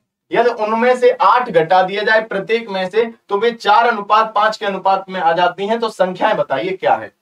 सभी लोग जवाब दीजिए। बहुत ही आसान क्वेश्चन है। बड़ा आसान क्वेश्चन है। क्लियर है ना? आप अगर जवाब देंगे तो बढ़िया लगेगा मुझे भी। क्लियर है ना? जल्दी से बताइए सवाल का जवाब क्या आएगा? जल्दी बोलिए आंसर क्या आएगा? और ये बच्चों को जोड़ो, समझ रहे हो ना? हाँ और क्लास कंटिन्यू लो। देखो, बारह बजे तक रहेगी। आप एक जगह रह के अगर पढ़ पा रहे हैं, दो घंटे, तीन घंटे तो ये आपके लिए बहुत अच्छी चीज़ है। क्योंकि एग्ज़ाम में आप अच्छे से, आप स्कोर कर पाएँगे। क्योंकि बैठने की अगर आपके अंदर क्षमता है। तो कुछ बच्चे क्या करते हैं स्टार्टिंग में तो जोश होता है। फिर निकल लिए। है ना? ऐसे नहीं करना है। रेगुलर आप जब से क्लास स्टार्ट हो, तब से आपको तब तक खत्म हो, तब तक बने रहना है। वेरी गुड देखिएगा। देखो, ये कह रहा है दो संख्याएँ पाँच अनुपात, छह के अनुपात में है। पहले स्टार्टिंग में इनिशियल में नंबर प्रारंभिक संख्या किस अनुपात में थी? पाँच अनुपात किसमें थी? पाँच अनुपात छह। फाइनल में जब इनमें से आपको क्या घटाया गया? आठ घटा दिया गया। फाइनल में नंबर किस रेशियो में हो गए? फाइनल में रेशियो हो गया फोर अनुपात, यानी चार अनुपात पाँच। बोलो हाँ ना? अब आप ये देखना है कि बताइए। देखो, एक छोटी सी चीज़ आपको यहाँ से सीखनी है। कंसेप्ट एक छोटा सा चीज़ सीखना है क्या? वो आपको कंसेप्ट ये सीखना है, इसमें भी काम आएगा, वो एज में भी आएगा। ये तो सवाल बहुत आसान है, इसलिए आपको कोई दिक्कत नहीं होगी। लेकिन आपको सीखना यह है कि अगर दो संख्याएँ हैं और उनमें से समान संख्या घटाई जाए या समान संख्या बढ़ाई जाए तो जो उन संख्याओं का पहले डिफरेंस था ना, वो बाद में भी डिफरेंस उतना ही होगा। मतलब अंतर हमेशा बराबर होगा। समान संख्या जोड़ी जाए या समान संख्या घटाई जाए तो डिफरेंस जितना पहले था, उतना ही बाद में होगा। मैं क्या बताना चाह रहा हूँ, ये देखिए। जैसे मैंने कहा दो संख्याएँ, पहले दस है और ये आपकी बीस है। यहाँ इन दोनों का डिफरेंस कितना है? डिफरेंस कितना है? आप कहेंगे, सर डिफरेंस है दस। मैंने कहा, इसमें भी पाँच जोड़ दो और इसमें भी पाँच जोड़ दो। तो आप बताइए, कितनी हो जाएगी? पंद्रह और ये कितनी हो जाएगी? ये हो जाएगी पच्चीस। तो डिफरेंस कितना है? डिफरेंस कितना है दस। यानी डिफरेंस सेम होगा। डिफरेंस क्या होगा? सेम ये कंसेप्ट एज में भी काम आता है और यहाँ भी आता है। ये तो सवाल बहुत आसान है तो आपको लगेगा नहीं, लेकिन हर जगह काम आता है। जैसे हमें सबसे पहले ऐसे क्वेश्चन में क्या देखना है, जब हर संख्या में से आठ घटाया, प्रत्येक में से आठ घटाया, या कुछ भी समान जोड़ा समान घटाया तो देखो इनका डिफरेंस बराबर है या नहीं। आप कहेंगे, सर, यहाँ भी डिफरेंस एक है और यहाँ भी डिफरेंस एक है। अगर डिफरेंस बराबर है, फिर तो आप मानो बहुत बढ़िया है। डिफरेंस बराबर नहीं है तो उसे बराबर करते हैं, तब सॉल्व करते हैं। क्लियर है? तो यहाँ डिफरेंस बराबर है तो फिर तो कोई दिक्कत है ही नहीं। तो आप करेंगे सर, पहली संख्या कितनी थी? पाँच। अब पाँच से कितनी रह गई? चार। तो पाँच से चार रह गई, कितना घटाया? एक। मेरे हिसाब से एक घटाया और सवाल में कितना सब्ट्रैक्ट किया? आठ। जब one is equal to eight है वन इज़ इक्वल टू कितना है? एट तो मुझे बताओ इनिशियल में नंबर कितना था? पाँच। जब एक बराबर आठ है तो पाँच बराबर कितना हो जाएगा? आठ पंजे चालीस। और यहाँ आठ गुना छह करेंगे तो कितना हो जाएगा? अड़तालीस। तो पहली संख्या चालीस और दूसरी अड़तालीस। यही आपका आंसर आएगा। बोलो हाँ है ना? अरे हाँ ना। बोलो। हाँ ना, बोला करो। समझ रहे हो ना? समझ में आया? मैंने आपको कंसेप्ट भी बता दिया। अगर डिफरेंस बराबर नहीं होता तो क्या करते पहले? बराबर करते? क्लियर है? बताइए। ये बात आपके समझ में आई? तो इस तरह के सवाल कर लेंगे आप। बोलिए। बोलो कर लेंगे ना? चलिए, अगर कर लेंगे तो नेक्स्ट क्वेश्चन की तरफ़ बढ़े। बताइए सभी लोग बढ़े क्या? वेरी गुड कंसेप्ट समझ में आ गया? ये वाला कंसेप्ट आपका एज में भी काम आएगा और यहाँ भी काम आएगा। चलिए नेक्स्ट क्वेश्चन ये रहा आपके सामने। बहुत ही प्यारा सा क्वेश्चन बढ़िया सुंदर सा सवाल। इस सवाल को करने के कई सारे तरीके हो सकते हैं। बहुत प्यारा क्वेश्चन है। जवाब दीजिए। बताइए। जल्दी से बताइए। बोलिए। सवाल का जवाब दीजिए। ए और बी की मासिक आय, यानी मंथली इनकम का जो रेशियो है फोर रेशियो फाइव के अनुपात में है, और उनका मासिक व्यय सात अनुपात नौ के अनुपात में है। यदि प्रत्येक, यानी रुपए बचाता है, पचास रुपए प्रतिमाह बचाता है हर व्यक्ति तो एक ही मासिक आय बताइए। सभी लोग बताइए। लक्ष्मण अच्छा वेरी गुड भाई। सत्या मीनाक्षी, बबली, ओके, शाहरुख, सभी लोग बताओ। देखो, इस सवाल को कई तरीके से कर सकते हैं। आप बताइए बेसिक से करें या फिर एक अच्छे लेवल से करें? बताइए बेसिक से करें या अच्छे लेवल से? देखो बेसिक से भी कर सकते हैं और आप एक अच्छे लेवल से भी कर सकते हैं, देख के भी कर सकते हैं। चलो, पहले बेसिक से बता देते हैं मैं आपको। बेसिक क्या है? पहले व्यक्ति की आय चार अनुपात पाँच में थी। अब आप मान लीजिए, पहले व्यक्ति यानी एक ही आय कितनी है? चार यूनिट मान लिया। आपने मान लिया इनकम चार यूनिट थी। पहले वाले व्यक्ति की कितनी थी? चार यूनिट दूसरे वाले व्यक्ति की कितनी थी? पाँच यूनिट बोलो हाँ या ना? अब इसने क्या कहा कि यदि इसने क्या है, प्रत्येक ने पचास पचास रुपए बचाए और उनके खर्च का अनुपात कितना है, सात अनुपात नौ। खर्च का अनुपात कितना है, सात अनुपात नौ। आप बताइए, एक चीज़ बताइए, अगर इनकम में से बचत घटा दी जाए तो क्या आ जाएगा खर्च? आ जाएगा नहीं आ जाएगा? अगर आय में से, इनकम में से अगर सेविंग सब्ट्रैक्ट कर दी जाए तो आपका क्या आ जाएगा? एक्सपेंडिचर? बोलो हाँ या ना। तो आप बताओ प्रत्येक कितने रुपए बचाता है? पचास रुपए। इनकम में से मैंने कहा, इसमें से भी पचास रुपए घटा दिए तो ये क्या हो गया इसका खर्च? और इसमें से पचास रुपए घटा दिए तो ये भी क्या हो गया इसका खर्च? और खर्च का अनुपात कितना है? सात बटे नौ। बोलो हाँ या ना? सभी लोग बताइए, ये बेसिक कंसेप्ट समझ में आया या नहीं आया? बोलो हाँ या ना? मैंने कहा कि भैया, पहला वाला फोर यूनिट बच, यानी इनकम थी। अब दूसरे वाले की फाइव यूनिट पहले वाला पचास बचाता था। तो इनकम में से अगर आप बचत घटा देंगे तो क्या आ जाएगा? खर्च। तो आपने देख लिया ये। अब तो आपको बहुत अच्छे से पता है। क्या पता है कि क्रॉस में करना है गुना। क्रॉस में क्या करना है? गुना। कर लीजिए। नौ चौक कितना हो गया? छत्तीस यूनिट। ये थर्टी सिक्स यूनिट। माइनस नौ पंजे पैंतालीस, चार सौ पचास। बोलो क्लियर है? हाँ या ना? बराबर कितना हो जाएगा? पैंतीस unit, thirty five unit. Minus कितना हो जाएगा? सात पूरे पैंतीस, तीन सौ पचास। बोलो हाँ या ना? अरे क्या हो रहा है ये? चलिए तो यूनिट यूनिट के पास जाएगा तो ये इसमें से ये घटेगा तो बताओ कितना आएगा? एक यूनिट अरे हाँ या ना, एक यूनिट की वैल्यू ये उधर जाएगा तो प्लस का हो जाएगा, एक यूनिट बराबर कितना आएगा? सौ रुपए। एक यूनिट बराबर कितना आएगा? सौ। तो हमसे क्या पूछा है? एक ही मासिक आय, एक ही मासिक आय, एक ही मासिक आय कितनी है? चार यूनिट तो एक ही चार गुना सौ करेंगे तो आंसर कितना आएगा? 400 आंसर कितना आएगा? 400 बोलिए हाँ या ना? सभी लोग बताइए, क्या इतनी बात समझ में आई? बोलो हाँ या ना? बोलो हाँ या ना? बताया करो, सबके समझ में आया? और देखिए, मेहनत करोगे, आप बिल्कुल रिज़ल्ट निकलेगा। आप अगर मेहनत करते हैं तो रिज़ल्ट निकलेगा। आपका अगर मेहनत करेंगे तो आपको जीत बिल्कुल निश्चित होगी। समझ रहे हैं ना? जीत बिल्कुल निश्चित होगी आपकी। बस आप मेहनत करते रहिए। अगर आप मेहनत करेंगे तो बिल्कुल आपको जीत मिलेगी। और अपने आप को मज़बूत बनाए रखिए, है ना? अपने आप को मज़बूत बनाए लिखिए। ठीक है इसी के लिए दो शब्द हैं और आप प्यार से सुनिएगा। बड़ा मस, आनंद आने वाला। देखिए आपके लिए अगर आपका कभी हौसला टूटे ना तो अपने आप को संभालिएगा। कैसे? अभी आँखों की समाएँ जल रही हैं प्यार ज़िंदा है। अभी आँखों की समाएँ जल रही हैं प्यार ज़िंदा है। अभी मायूस मत होना अभी बीमार ज़िंदा है। हज़ारों जख्म खाकर भी ये दुश्मन के मुकाबिल है। हज़ारों जख्म खाकर भी ये दुश्मन के मुकाबिल है। खुदा का शुक्र है, अब तक दिले खुददार ज़िंदा है। तो अपने आप को ज़िंदा रखिए, बढ़िया मज़बूत रखिए और बना के रखिए कि हाँ हम कर सकते हैं। कितनी भी असफलताएँ मिले, कुछ भी हो, लेकिन आपने प्रयास तो किए। अगर आपने प्रयास किए हैं तो उसका हल ज़रूर निकलेगा। वो मेहनत जो आपने करी है, उसका रिज़ल्ट आपको ज़रूर मिलेगा। क्लियर है ना? हाँ। तो आप बनाए रखिए अपने आप को मज़बूत। क्लियर है?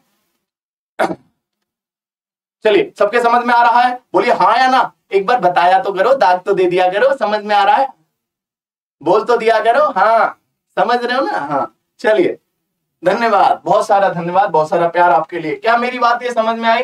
बोलो हाँ या ना? एक और तरीका बताओ इस सवाल को करने का, बताइए। एक और ज़बरदस्त तरीका बताऊँ, जिसे आप देखते ही करें। चलो, एक और तरीका बताता हूँ।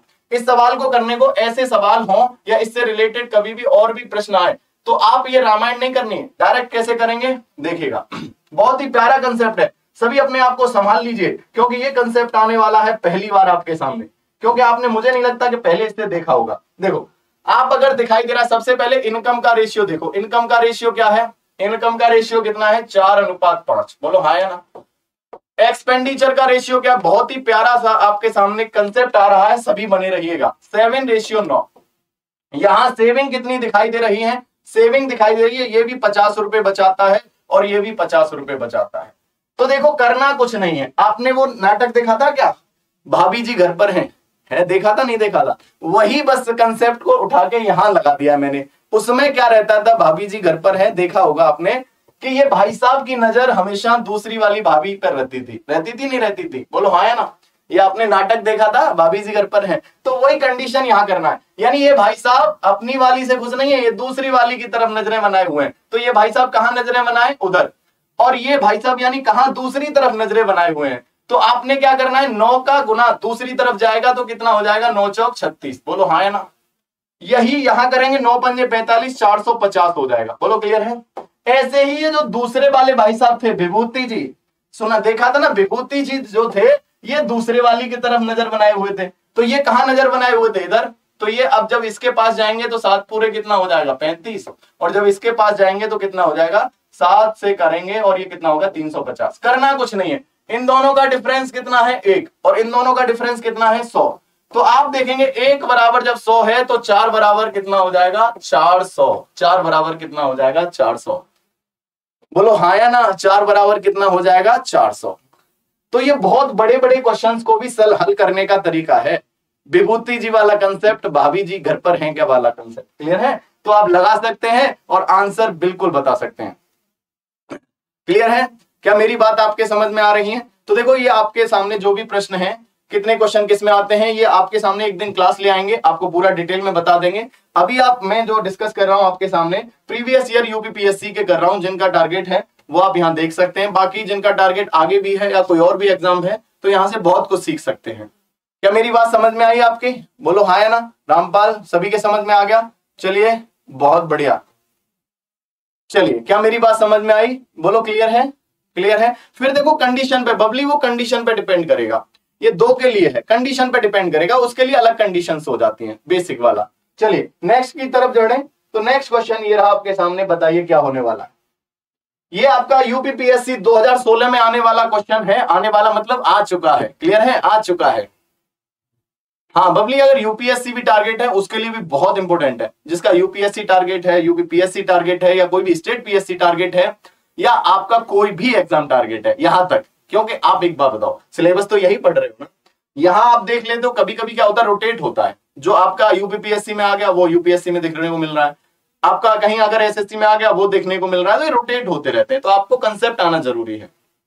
वेरी गुड देखो, बच्चों के जवाब भी आ गए हैं। करना कुछ नहीं है। देखो A but A upon three is equal to A upon three is equal to B upon four is equal to C upon seven अगर इस तरह से कभी भी आपको दिखाई दे रहा है, क्या दिखाई दे रहा है? जैसे ए बटे ए बटे कितना दिखाई दे रहा है? तीन। बराबर बी बटे कितना दिखाई दे रहा है? चार। बराबर सी बटे सात। अब आपने क्या करना है? यहाँ से बस ये सीखना है, अगर इक्वल में है और अपॉन में वैल्यू इस तरह से दिखाई दे रही है तो जो अपॉन में वैल्यू है ना जिसके अपॉन में जो है, वो उसी की वैल्यू माननी है आपको, उतनी यूनिट कैसे? जैसे मैंने कहा, आपके पास धन है, वो आपके नीचे तो होगा मतलब आपने ही तो छुपा के रखा होगा, आपके अंडर तो होगा, आपका धन। तो इसी प्रकार ए का धन कितना है? तीन।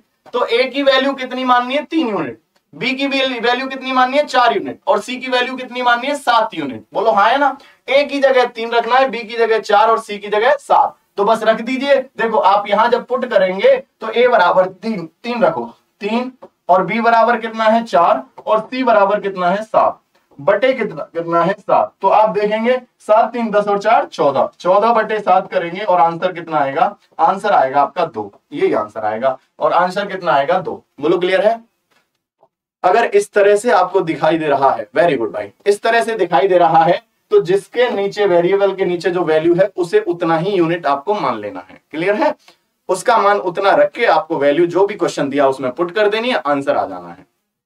क्लियर है? क्या मेरी बात आप तक पहुँच रही है? बताइए, सबके समझ में आया? तो जल्दी से बढ़ते हैं नेक्स्ट क्वेश्चन की तरफ़। ये रहा नेक्स्ट क्वेश्चन बताइए जवाब क्या होगा।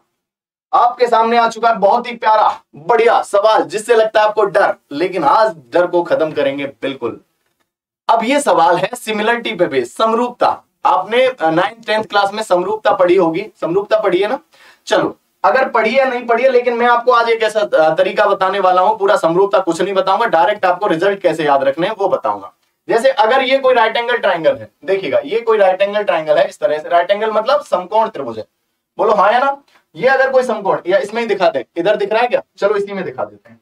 इसमें ही दिखा देते हैं आपको। अगर ये दिख रहा है तो इसी में दिखा देते हैं। जैसे अगर ये आपका समकोण त्रिभुज है, क्या है ये? समकोण त्रिभुज है।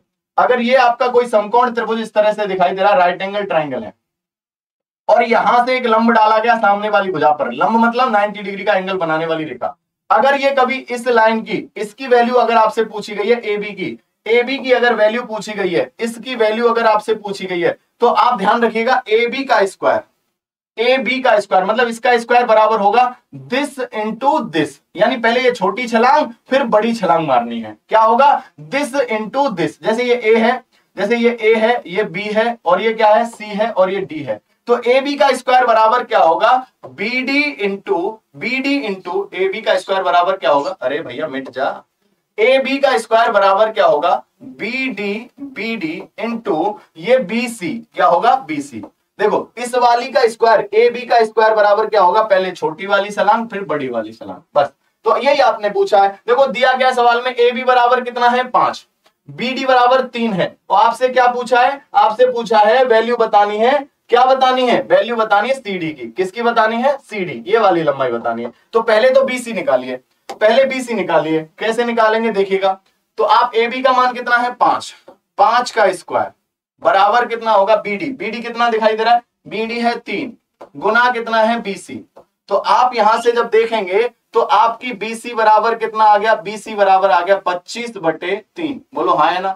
जबकि हमें निकालना है सीडी तो सीडी कैसे निकलेगा? सीडी निकलेगा, पूरे में से ये वाला बीडी घटा देंगे। तो आप बताओ सीडी बराबर सीडी बराबर क्या होगा? पच्चीस बटे तीन, पच्चीस बटे तीन, माइनस कितना हो जाएगा? माइनस कितना है तीन। और आंसर क्या आएगा? सोलह बटे तीन। आंसर क्या आएगा? सोलह बटे तीन। यही आंसर आएगा। बोलो हाँ है ना? तो आप इस तरह से रिज़ल्ट दिमाग में रख सकते हैं। क्लियर है? शायद नहीं करना है, मीनाक्षी, शायद नहीं करना है। आंसर आएगा सोलह बटे तीन। आंसर कितना आएगा? सोलह बटे तीन। बोलो क्लियर है? अरे हाँ या ना? सबके समझ में आया? बोलो क्लियर है? तो मैंने क्या कहा? ये वाली अगर भुजा निकालनी है तो पहले छोटी छलांग, फिर बड़ी छलांग का मल्टीप्लाई करके इस भुजा का स्क्वायर अगर आपसे एग्ज़ाम में ये पूछता मिटा दूँ क्या? मिटा दूँ क्या? अगर एग्ज़ाम में ये ना पूछ के ये पूछता, क्या पूछता? देखो एग्ज़ाम में अगर ये पूछता आपसे, देखो एक और चीज़, कभी आपको दोनों रिज़ल्ट ध्यान रखना है। पहला रिज़ल्ट पता चल गया, दूसरा रिज़ल्ट ध्यान रखना है। अगर आपसे पूछता, क्या पूछता? अगर ये वाला पूछता ए सी का स्क्वायर पूछता, किसका पूछता? ए सी का स्क्वायर जब ए सी का स्क्वायर पूछेगा तो पहले छोटी छलांग, फिर बड़ी छलांग।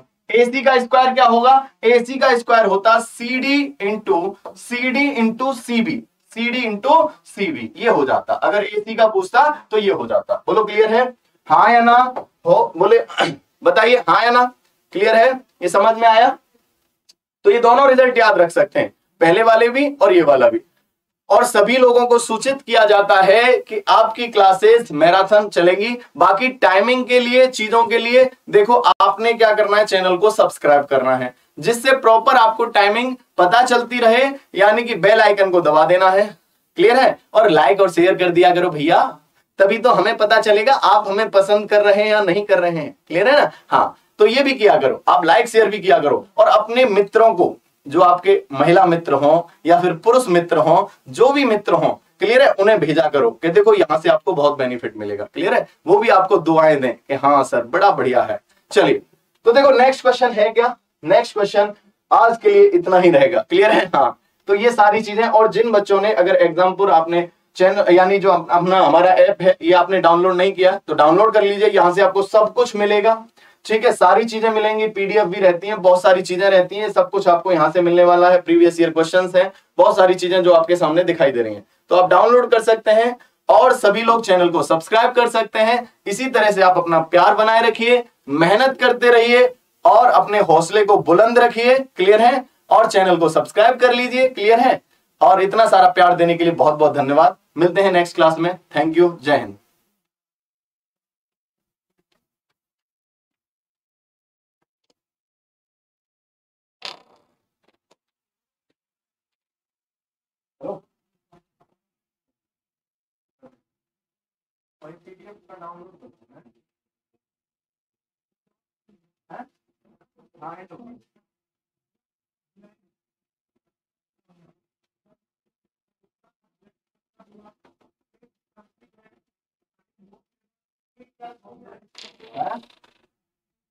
हाँ। कर दी क्या आपने? कर दीजिए आप।